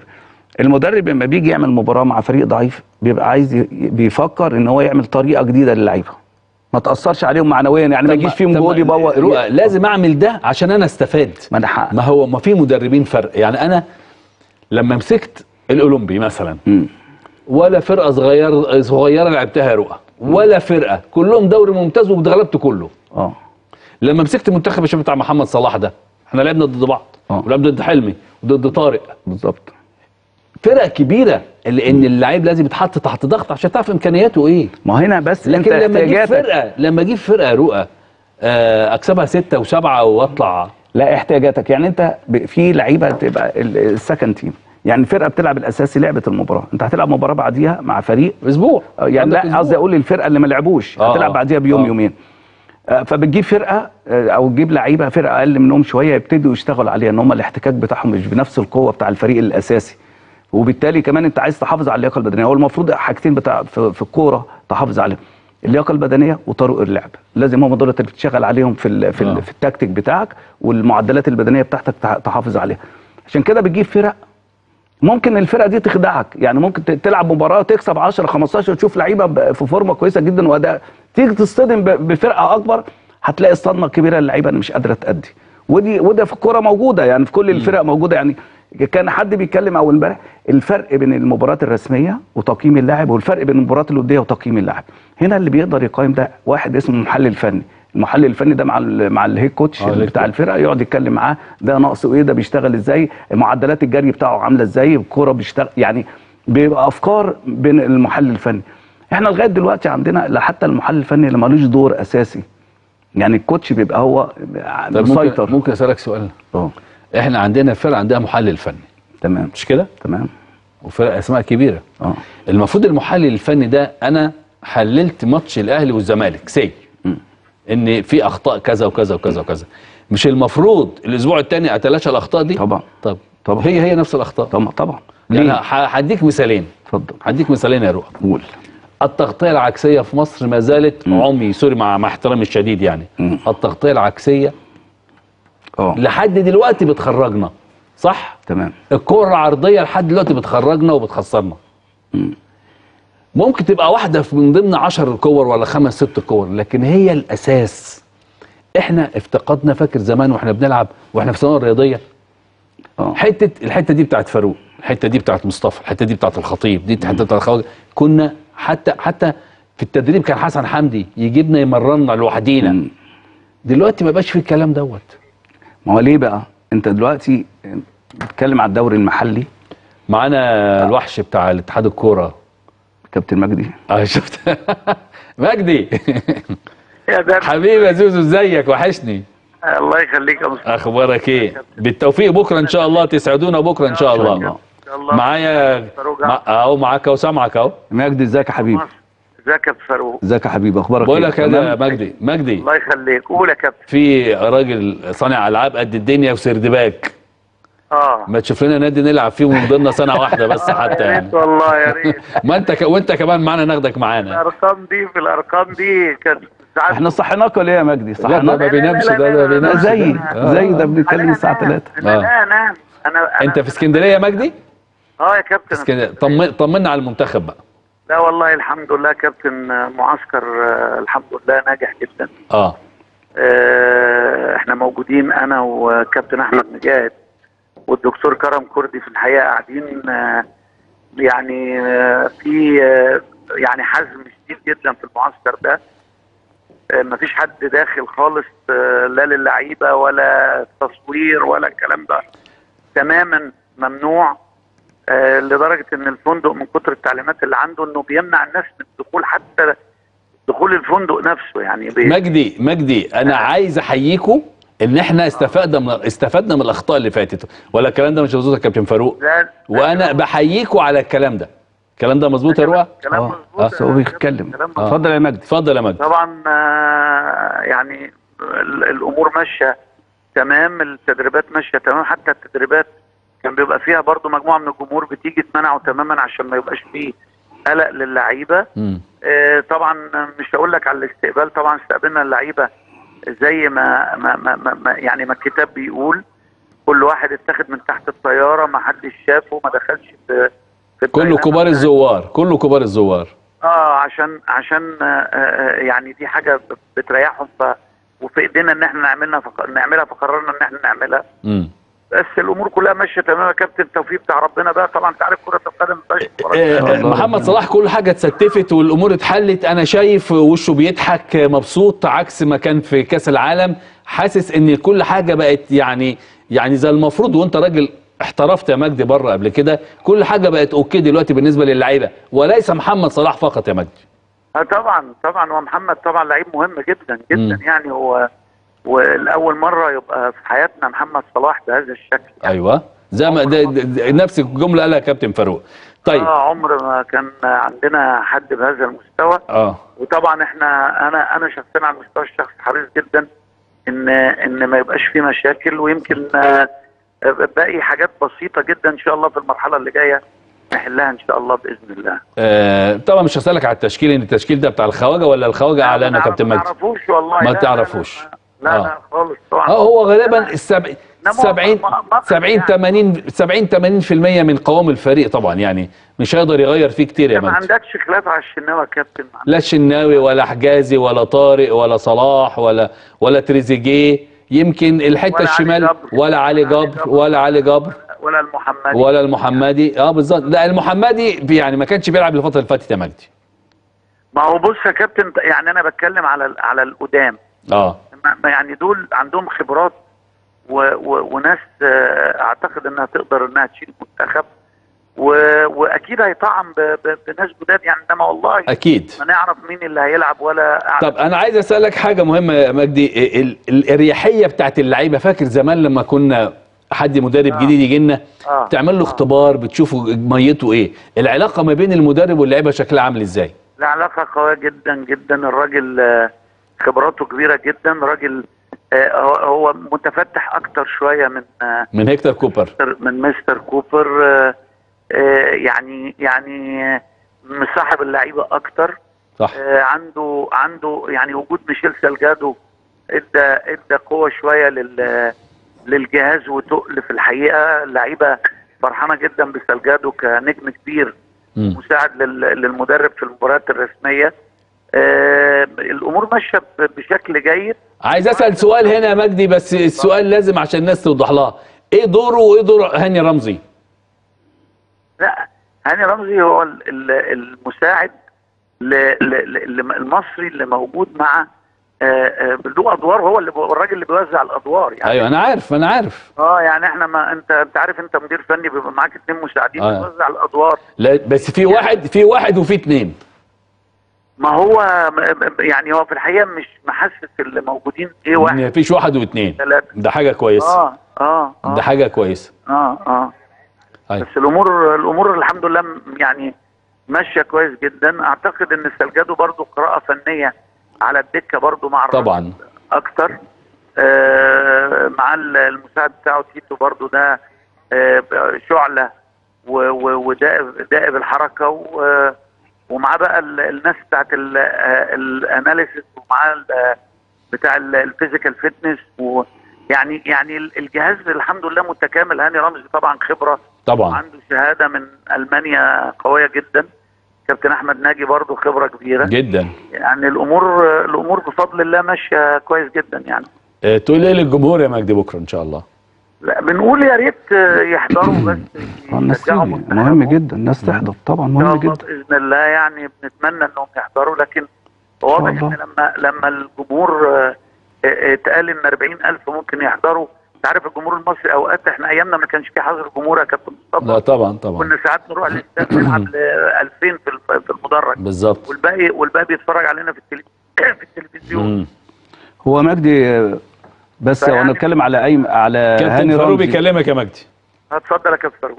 بتكلم على هاني رمزي. طبعا الراجل مهما كانت خبراته مهما كانت قوته مهما كان كيانه هو عايز وقت عشان يتعرف على اللعيبة وخصوصا اللعيبة المصريين اللي بيلعبوا بره. هو بيتفرج على الدوري المحلي فمش شايف اللعيبة المصريين اللي موجودين بره. هل آه. هنا في الت- في التوقيت ده هاني رمزي مش هيبقى ليه دور؟ أكيد يا كابتن له دور طبعا. أكيد طبعا. له دور. آه. أكيد له دور و... و... و... ودور مهم جدا طبعا. طبعا يعني ومؤثر هو- كمان طبعا. يعني هو العنصر ال- المصري اللي موجود عين الراجل على اللعيبة اللي, اللي بيلعبوا محليين واللي بيلعبوا طبعا بره. طبعا. فله دور طبعا مهم والراجل فكرة بيسمع. يعني الراجل ال- الناس دي المدربين اللي اصحاب الخبرة الكبيرة دي بيبقى آه، يعني آه، أفكارهم مفتوحة بالظبط. وبيحبوا يسمعوا كتير وخاصة لما يبقى في الأول ومش مكون فكرة كاملة. فبيسمع من ده ويسمع من ده ويسمع من ده والملعب بيبينه وبيبقى قناعته هي ال- اللي في الآخر هي اللي بتتغلب لكن بيسمع للكل يعني بيسمع للكل مش طب هو اختيارات اللعيبة ال- المحترفين اللي موجودين بره مين اللي كان بيختارهم؟ طبعا أكيد هاني. لا الراجل مع هاني الراجل على فكرة يعني أكيد هاني هو اللي عارف اللعيبة اللي بره يعني الراجل ما يعرفش اللي في البرتغال ما يعرفش اللي في الدوري الإنجليزي غير صلاح طبعا والنني. الراجل عامل حاجة كويسة قوي يا كابتن. آه.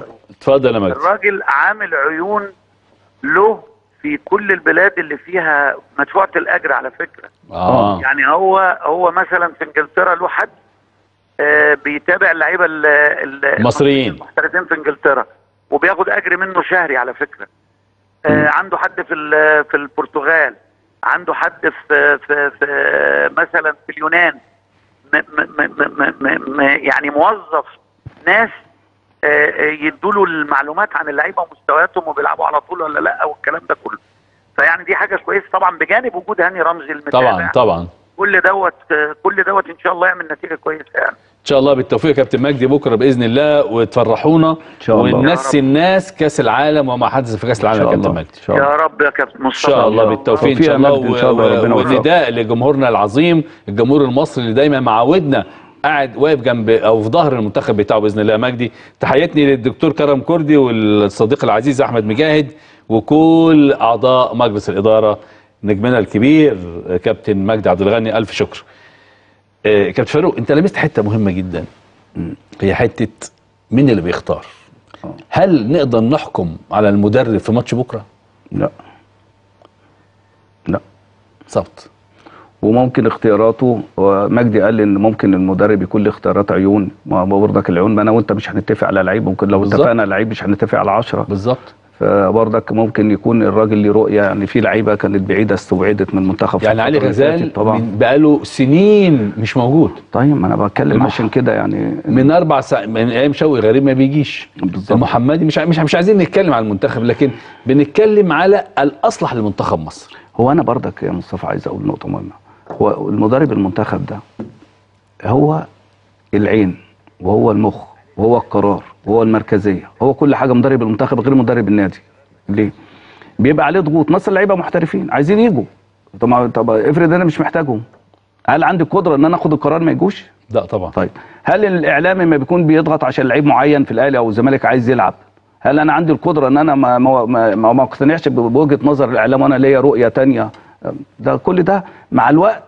ده ده سند يبقى للم أو قوة من مكاسب اللي هو هيحققها في الفترة اللي جاية تخليه هو صاحب القرار. يعني المركزية عنده في القرار. يعني أنا سألت مجدي آه، هاني رمزي. هاني رمزي شريك في دلوقتي في الفترة آه، الحالية. بعدين لما الراجل يحط لما إيده الراجل بقى يحط إيده بقى هو هيبقى صاحب القرار. وده العرف. صعب وده طبيعي. طبعا آه، أو ال- ال- ال- اللي بيتعين أو الضيف أو اللي بيمسك مركز كل اللي حواليه ضيوف لوقت مؤقت لغاية ما ياخد يشتري منهم ياخد من عندهم كل حاجة وبعدين يقول لهم مع السلامة. وبعد كده يقول لهم مع السلامة. بقى يمسك كل واحد يقول لا ده بيتدخل في الشغل لا ده ده دمه تقيل ده ده رزق بيتعامل مع اللعيبه وحش لغاية ما يجيب يقدر يشتغل عشان يشتغل براحته. لكن الفترة دي إحنا بنتكلم اولا لازم نتكلم على الفريق اللي إحنا هنلعبه. ودي شيء مهم. آه. النيجر ده في التصنيف C. بالظبط. يعني لكن ممكن ال- الفرق اللي, عن اللي لا تعلم عنها الهوية أو الفرق اللي هي مش مصنفة دي لو ما كنتش تعمل لها حساب قوي. يعني أنا مثلا هلاعب النيجر وهلاعب غانا.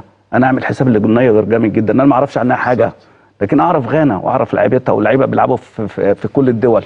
لكن النيجر دي ما عندها ما فيش حد غير اللي هو المهاجم بتاعهم اللي هو مواليد 98 ده.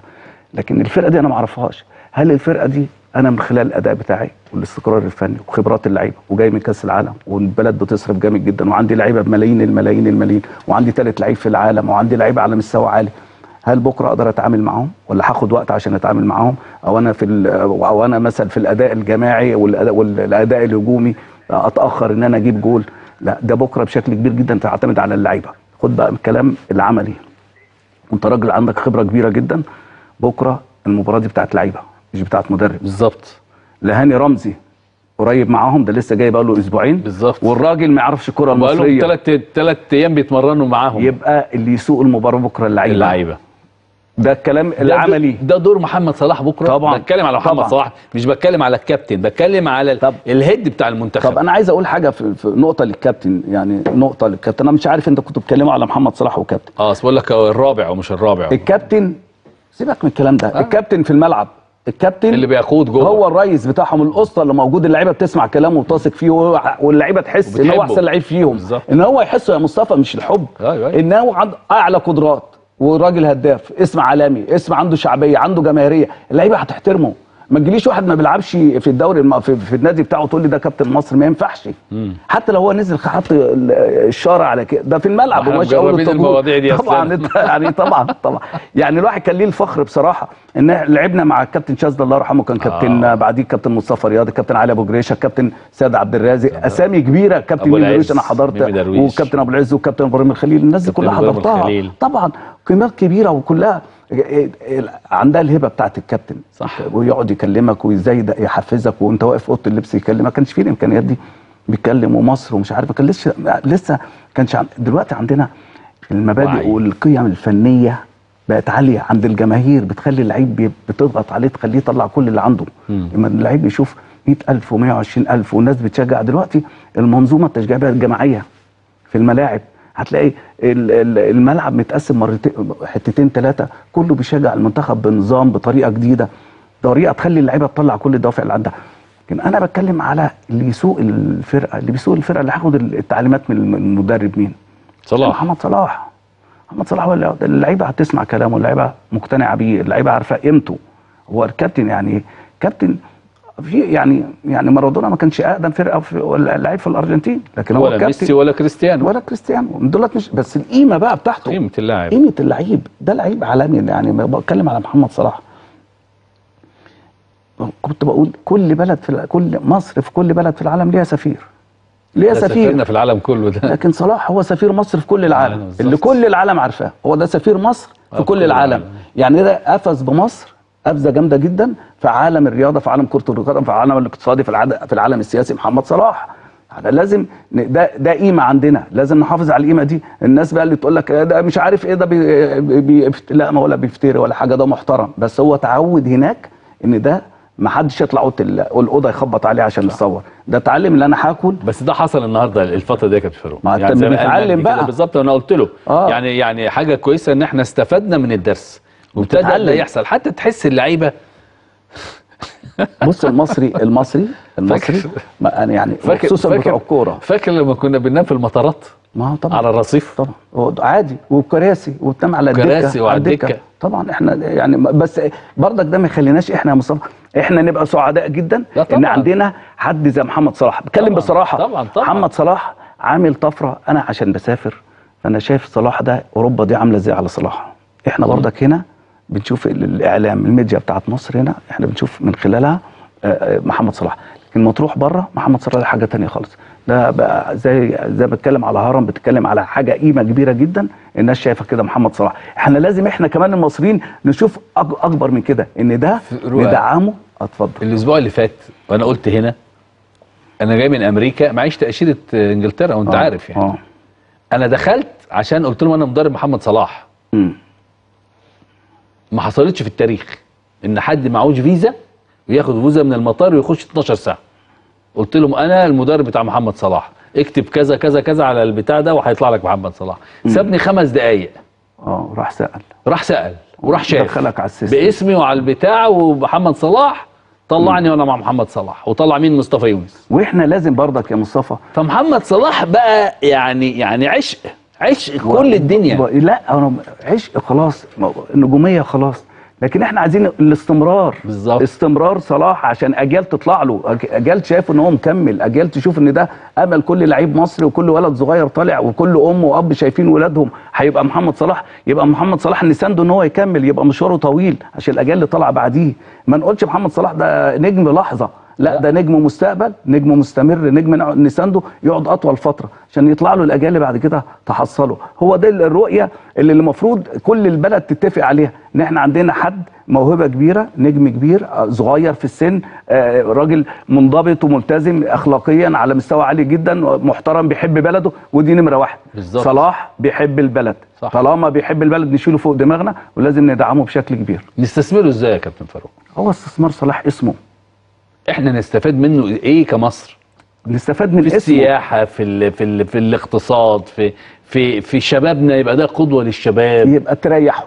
عشان هو ما يطلع في اي في أي وقت في أي توقيت يتكلم على البلد كويس إن البلد بتسنده يعني إحنا المرة اللي فاتت ما كانش في علاج بسرعة للظروف دي كانت الدنيا اتقلبت.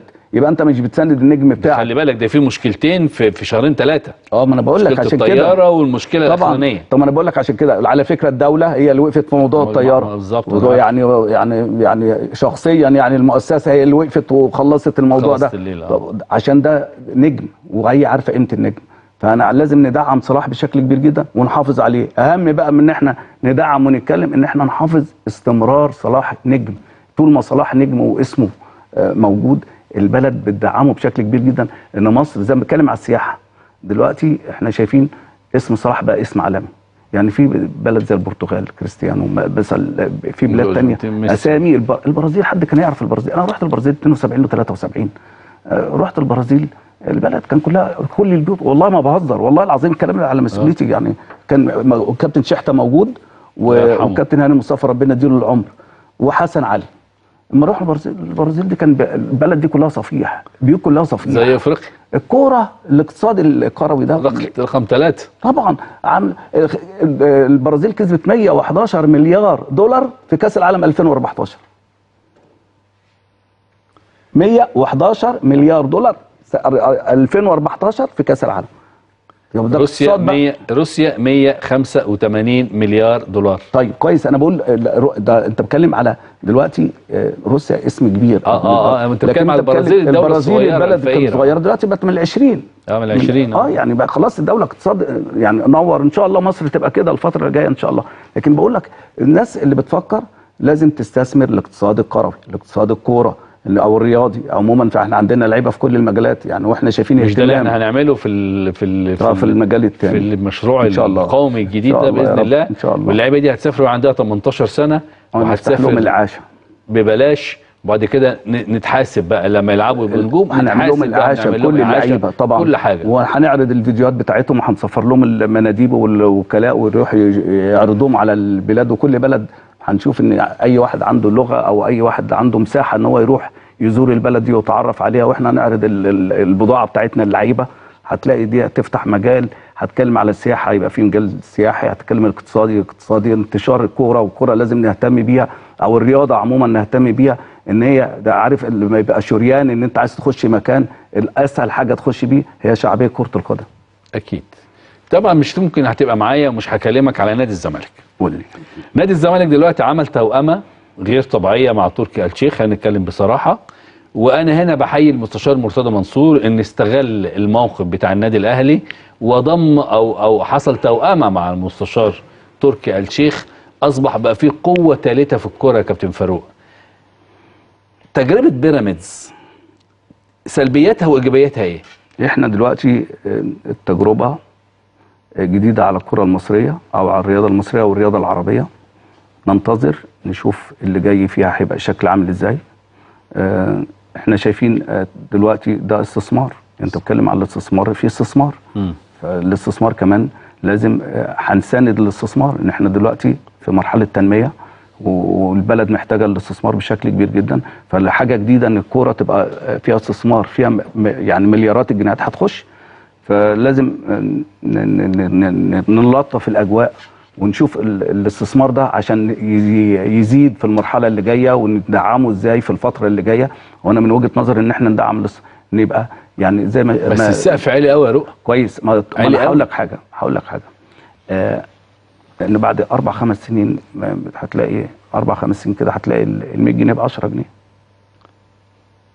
يعني فدي في هي ال 100 العالم. جنيه- هي ال 100 جنيه ب 10 جنيه دلوقتي. لا يعني انت دلوقتي أنا, أنا. أخويا عايش في السعودية. آه. أنا ما يعني أنا بتكلم كلام عملي جدا. آه يعني علبة سجاير إحنا قاعدين بنتخانق على علبة سجاير.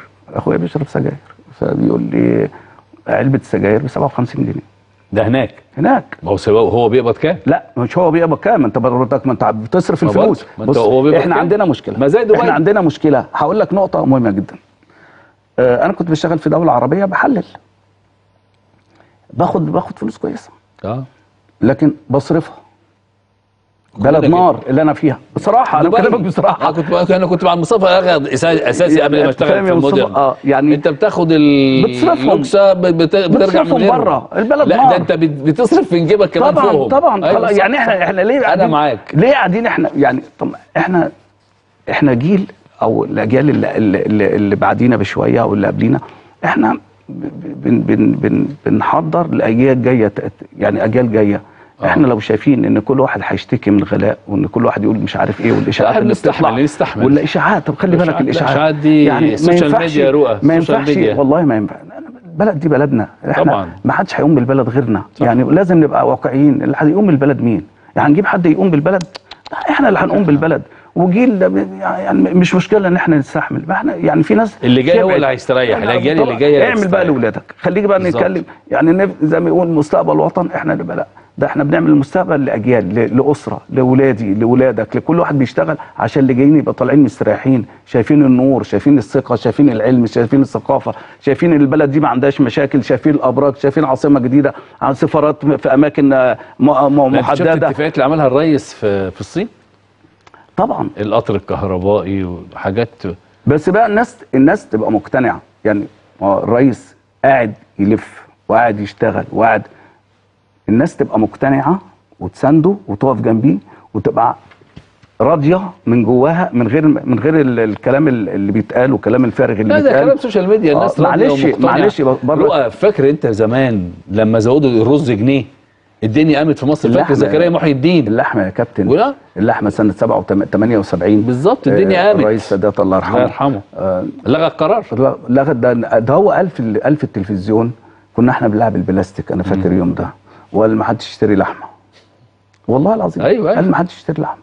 لا دلوقتي البلد اللي إحنا بنتنقل نقلة. إحنا مرينا بظروف صعبة وبعدين إحنا جينا من الصعب للأصعب لكن إحنا لازم نستحمل ما إحنا لازم نتنقل ما إحنا مش. هنفضل زي ما إحنا ما بال- يعني الدول بتسبقنا دلوقتي مش هنفضل زي ما إحنا لازم نتنقل لازم يبقى عندنا طموح إن إحنا نبقى إحنا طول عمر مصر هي نمرة واحد في الدول العربية صعب جدا إن إحنا نرضى إن مصر ما تبقاش نمرة واحد لا الفقري. نمرة واحد اللي هيشيلها أولادها اللي هو ده. دي القناعه اللي عندنا يعني لازم. يبقى عندنا قناعة إحنا اللي هنشيل البلد ون- ونفضل مستمرين بقى وننقلها إن مصر تفضل تستمر إن هي نمرة واحد نادي الزمالك القضية اللي عنده دي والمشاكل عنده هتخلص إمتى يا فاروق؟ أنا مش عارف لكن أنا آه يعني أنا شايف ان ان في ضغط على على على نادي الزمالك الفترة اللي فاتت. أنا بس عايز أقول حاجة المستشار مرتضى. آه. أنت عارف آه يعني قبل كل حاجة مرتضى صاحبي. صح حبيبنا صديقنا. آه وأنا ما فيش مصالح خالص بيني وبين مرتضى. يعني أنا بشتغل حتى أنا مستشار أنت نادي الزمالك يا فاروق، النادي بتاعي. وتربيت آه. والنادي ده اللي عملني. آه، مرتضى ليه الاحترام في نقطة مهمة جدا هقولها مصطفى. يعني أرجو إن كل واحد يعني يعني يبقى مركز معايا فيها. مرتضى عمل حاجة كل لعيب ودي عمرها ما حصلت. كل لعيب لبس التيشيرت بتاع نادي الزمالك واعتزل اللعب أو اعتزل التدريب أو طلع معاش ليه معاش من نادي. ودي تتحسب لمرتضى الله عليه. أنا بكلم بأمانة. أنا عارف أنا عارف. كل واحد وأنا أنا بكلمك أنا مسؤول أنا عن الكلام ده أصلاً. أو أنا أنت موجود أنت بتقعد معايا في المكتب آه، وبتيجي بالظبط كل واحد يا مصطفى لبس التيشيرت بتاع النادي ليه حق عند النادي اللي بيدوله مرتضى منصور مم. في لعيبة لعبت بقى وما خدتش فلوسها ولعيبه بطلت وليها فلوس مم. لكن أنا بتكلم أنا ولا بجامل مرتضى صاحبي لا، أنا ما لا، ما. بقولوش يعني عشان تبقى عارف أنا ما بقولوش ولا ست المستشار مرتضى صاحبي وأنا وهو علاقة 35 سنة مرتضى عمل وأنا كنت كان ليا دور وهو في منتهى الاحترام عمل كده وكان رغبته إن هو موافق وعملنا لكل ولاد النادي كباتننا واللي قدنا واللي بع- اللي بعدينا وكلهم بيشتغلوا كل في النادي. كل الألعاب وكلهم بيشتغلوا في النادي.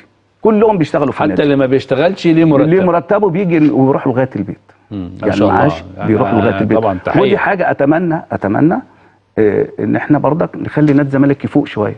يعني يفوق شوية طبعا إحنا في دولة قانون ومؤسسات ونحترم كل الناس فوق دماغنا فالفترة اللي جاية عايزين نادي الزمالك هيلعب في أكتر من بطولة. عايزين استقرار نادي الزمالك بالظبط. فإحنا عايزين نعزز الاستقرار في نادي الزمالك. إن شاء الله نتمنى هذا. كان في فاروق عايزك تختار لي شخصيتين ثلاثة كده وتوجه لهم رسالة. هنعتبر دي رساله مستشار مرتضى. تختار مين توجه له رسالة؟ آه، أنا أبو ريدة. كان أختار لك أنا بقى. هنا أبو رضا آه. هنا أبو رضا أنا بحبه جدا. كلنا بنحبه. آه. آه، يعني عايز أقول ما يعني يعني هخش في حتة كده مش مش حابب إن أنا أخش فيها. آه، حتة إن إن شركة تدير الكورة في مصر آه، مش معاها خالص. هو مش المال اللي بيدير الكره في مصر كلها رؤى؟ يعني ال- والمال هو اللي بيتحكم في الكره في مصر؟ الدوري الإنجليزي الدوري السعودي الدوري الأسباني؟ مش إحنا. إحنا لسه كنا بنتكلم على الإمكانيات المادية للشعب المصري. آه. لو إحنا كده بعد سنة سنة ونص سنتين هتلاقي ال- البث بفلوس. يعني مش هتتفرج على ماتشات غير بفلوس. وده السيستم اللي ماشيين عليه وهيبقى النظام اللي جاي وإحنا مش عايزين كده. مصر مش بتاع كده. الشعب ما عندوش حاجة بيشوفها ولا بياكلها ولا بيشربها غير. الكورة. غير الكورة. طب أنا أنا أنا اقترحت اقتراح يا رؤى. آه زي ما أنت قلت علبة السجاير ب 30 جنيه وب 40 جنيه. أنا اقترحت اقتراح. 57 جنيه. آه. عشان إحنا مالناش فيها أنا وأنت. يعني. آه. آه. أنا اقترحت اقتراح قبل كده آه. اللي هو تبقى الشهر الشهر ب 10 جنيه أو ب 20 جنيه وديكوردر ب 50 جنيه. ليه يا رؤى؟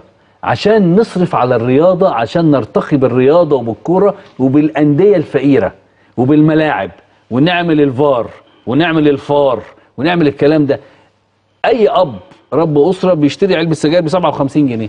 لما يدفع 20 جنيه في الشهر ما يجيش نص علبة سجاير.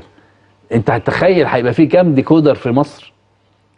أنا مش بتكلم في كده يا مصطفى أنا بتكلم دلوقتي إحنا شعب. عايزين إحنا خدنا درس البلد. مش هتصرف على إحنا لا مش هتصرف. طب أنا بقول كده طب في إيه البلد ما بتصرفش أنا بتكلم في نقطة يا مصطفى أنا بتكلم إن إحنا شفنا بعد كأس العالم وقبل كأس العالم الزخم اللي موجود في الإعلام المصري في الشارع المصري في وجهات الناس الناس والزعل والفرحة وكل الكلام ده في الكورة. خلينا نتكلم في الكورة بس الكورة أصبحت دلوقتي هو هي المراية مش عايز أقول المراية هي الشاشة الحقيقية لل- اللي الشعب يقعد يتفرج عليها. كان زمان الأفلام خلاص الأفلام الاجتماعية راحت. فأنت دلوقتي ما عندكش حاجة تحسسك إن أنت عايش في في بلد غير وفي. مؤسسة غير الكورة. آه. طب ما أنا احافظ أو عليها للناس. الشعب المصري الكورة. عليها للناس. ليه احقق احقق بالكوره من حاجة متعة للناس ومشاهدة للناس؟ لحاجه بقت بفلوس. لا. لا ما ينفع يعني أنا أنا وجهه لا ما ينفعش. أنا وجهة نظري يا رؤى هي مش مش بفلوس هي مساندة للكرة اللي إحنا بنحبها. كويس. مش مش فلوس هتدفع عشان تتفرج على الدوري بتاعك تدفع لك آه، 2700 جنيه زي أحد القنوات ولا 3000 جنيه في السنة وتجيب على فكرة- على فكرة- 700 800 جنيه. في دول عربية مش البلد اللي انت بتقول عليه في دول عربية كتير مشفرة الدوري العام. عندها. آه إحنا مش هينفع نشفر الدوري العام. أنا وجهة نظري آه، أنا. رجل أنا اشتغلت في كل القنوات العربية. مش هينفع في مصر تشفر. إن الش...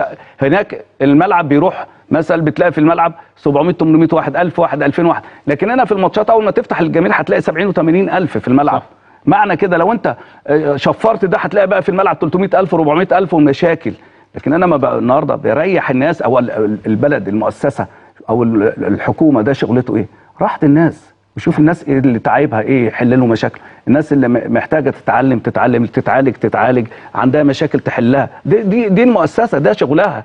الشغلها العمل ان إن أنت تريح المواطن. شغل المواطن وراحة المواطن أهم حاجة. فأنا شايف إن بلاش نبقى ماشيين في الطريق ده وبلاش إن إحنا نسعى إن يكون ده طريق ون- ونقول النغمة إن كل العالم بيدفع فلوس. آه كل العالم بيدفع فلوس. الناس أريح مننا ده رئيس الجمهورية بيقول الناس غلبانة. طب يعني ده هو بيقول يعني سياده الرئيس بيقول البلد الناس غلبانة. طب ما إحنا يعني هو شايف كده. أنا برضه هرجع أقول لك إن دي ما, بتاع ما بعتبرهاش أنا ك... كمصطفى يونس إنها مشفرة. أنا بسميها مشاركة للارتقاء بكرة القدم في مصر. مش كل واحد هيديك المشاركه لا ما لا يعني مش كل واحد. شعب أنت غني أنت غني أنت غني يا 20 مصطفى. جنيه رؤى 20 جنيه دي دولار يا ابن الحلال. معلش ممكن دولار. واحد ما, ت- ما آه. يقدرش يدفع ال 20 ما جنيه ما هو ده ما هي أسر. يعني اسره واحد, واحد بيمشي يا. مصطفى واحد بيمشي يروح الشغل. في واحد بيقبض معاش يا مصطفى 700 جنيه و800 جنيه وبيروح يشتغل في شغل جنب المعاش. ما يقدرش يدفع من المعاش تعريفة والله عشان يعني بيمشي فكر المشوار. يعني إحنا بنقول فكر.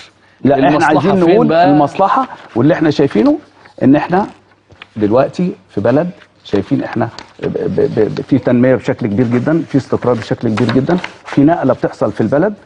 نتمنى إن إن تبقى الرؤية كلها إن الشعب ده يبقى مستريح. مفيش حاجة اسمها آه ال- الكورة بعد سنة تبقى مشفرة. إن الكورة بعد كده هتبقى الناس اللي ال- الحب الناس أو رغبة الناس إن هي تتفرج على منتخبها وعلى فرقها وعلى الدوري إن ده عشان تعمل كده بفلوس مصر ما اتعودتش على كده لو يعني أنا وجهة نظري والله ده. اقتراح وده اقتراح والأفضل للبلد إحنا إحنا. خدامين البلد دي إحنا خدامين البلد دي وشرفتنا وإن شاء الله نسعد. جميعا والشعب المصري بالفوز بكرة على النيجر. لأن إحنا تونس 3 point وإحنا والنيجر والنيجر آه، point كل واحد point وإحنا مع لسه وإحنا ما عندناش. لا إن شاء الله الله إحنا اول هنعدي إن 3 شاء point الله. بكرة بإذن الله. إن شاء الله. بالتوفيق لمنتخبنا حبيب قلبي وصديقي العمر كابتن يخليك يا وشرفتني يخليك. بتنورني وبشكرك. شكرا جزيلا. تأمرني حبيبي أعزائي المشاهدين كده بتنتهي حلقتنا النهارده. وأشوفكم إن شاء الله الأسبوع الجاي يوم الاثنين ولا النهارده الاثنين؟ النهارده الجمعة. النهارده الجمعة. الاثنين الجاي في نفس الوقت. وإن شاء الله هيكون عندي أول خبر فوز مصر على نيجر بإذن الله. الله. ونسعد بمنتخبنا وبلدنا. الاعاده بكرة الساعة 12 تصبحوا على خير.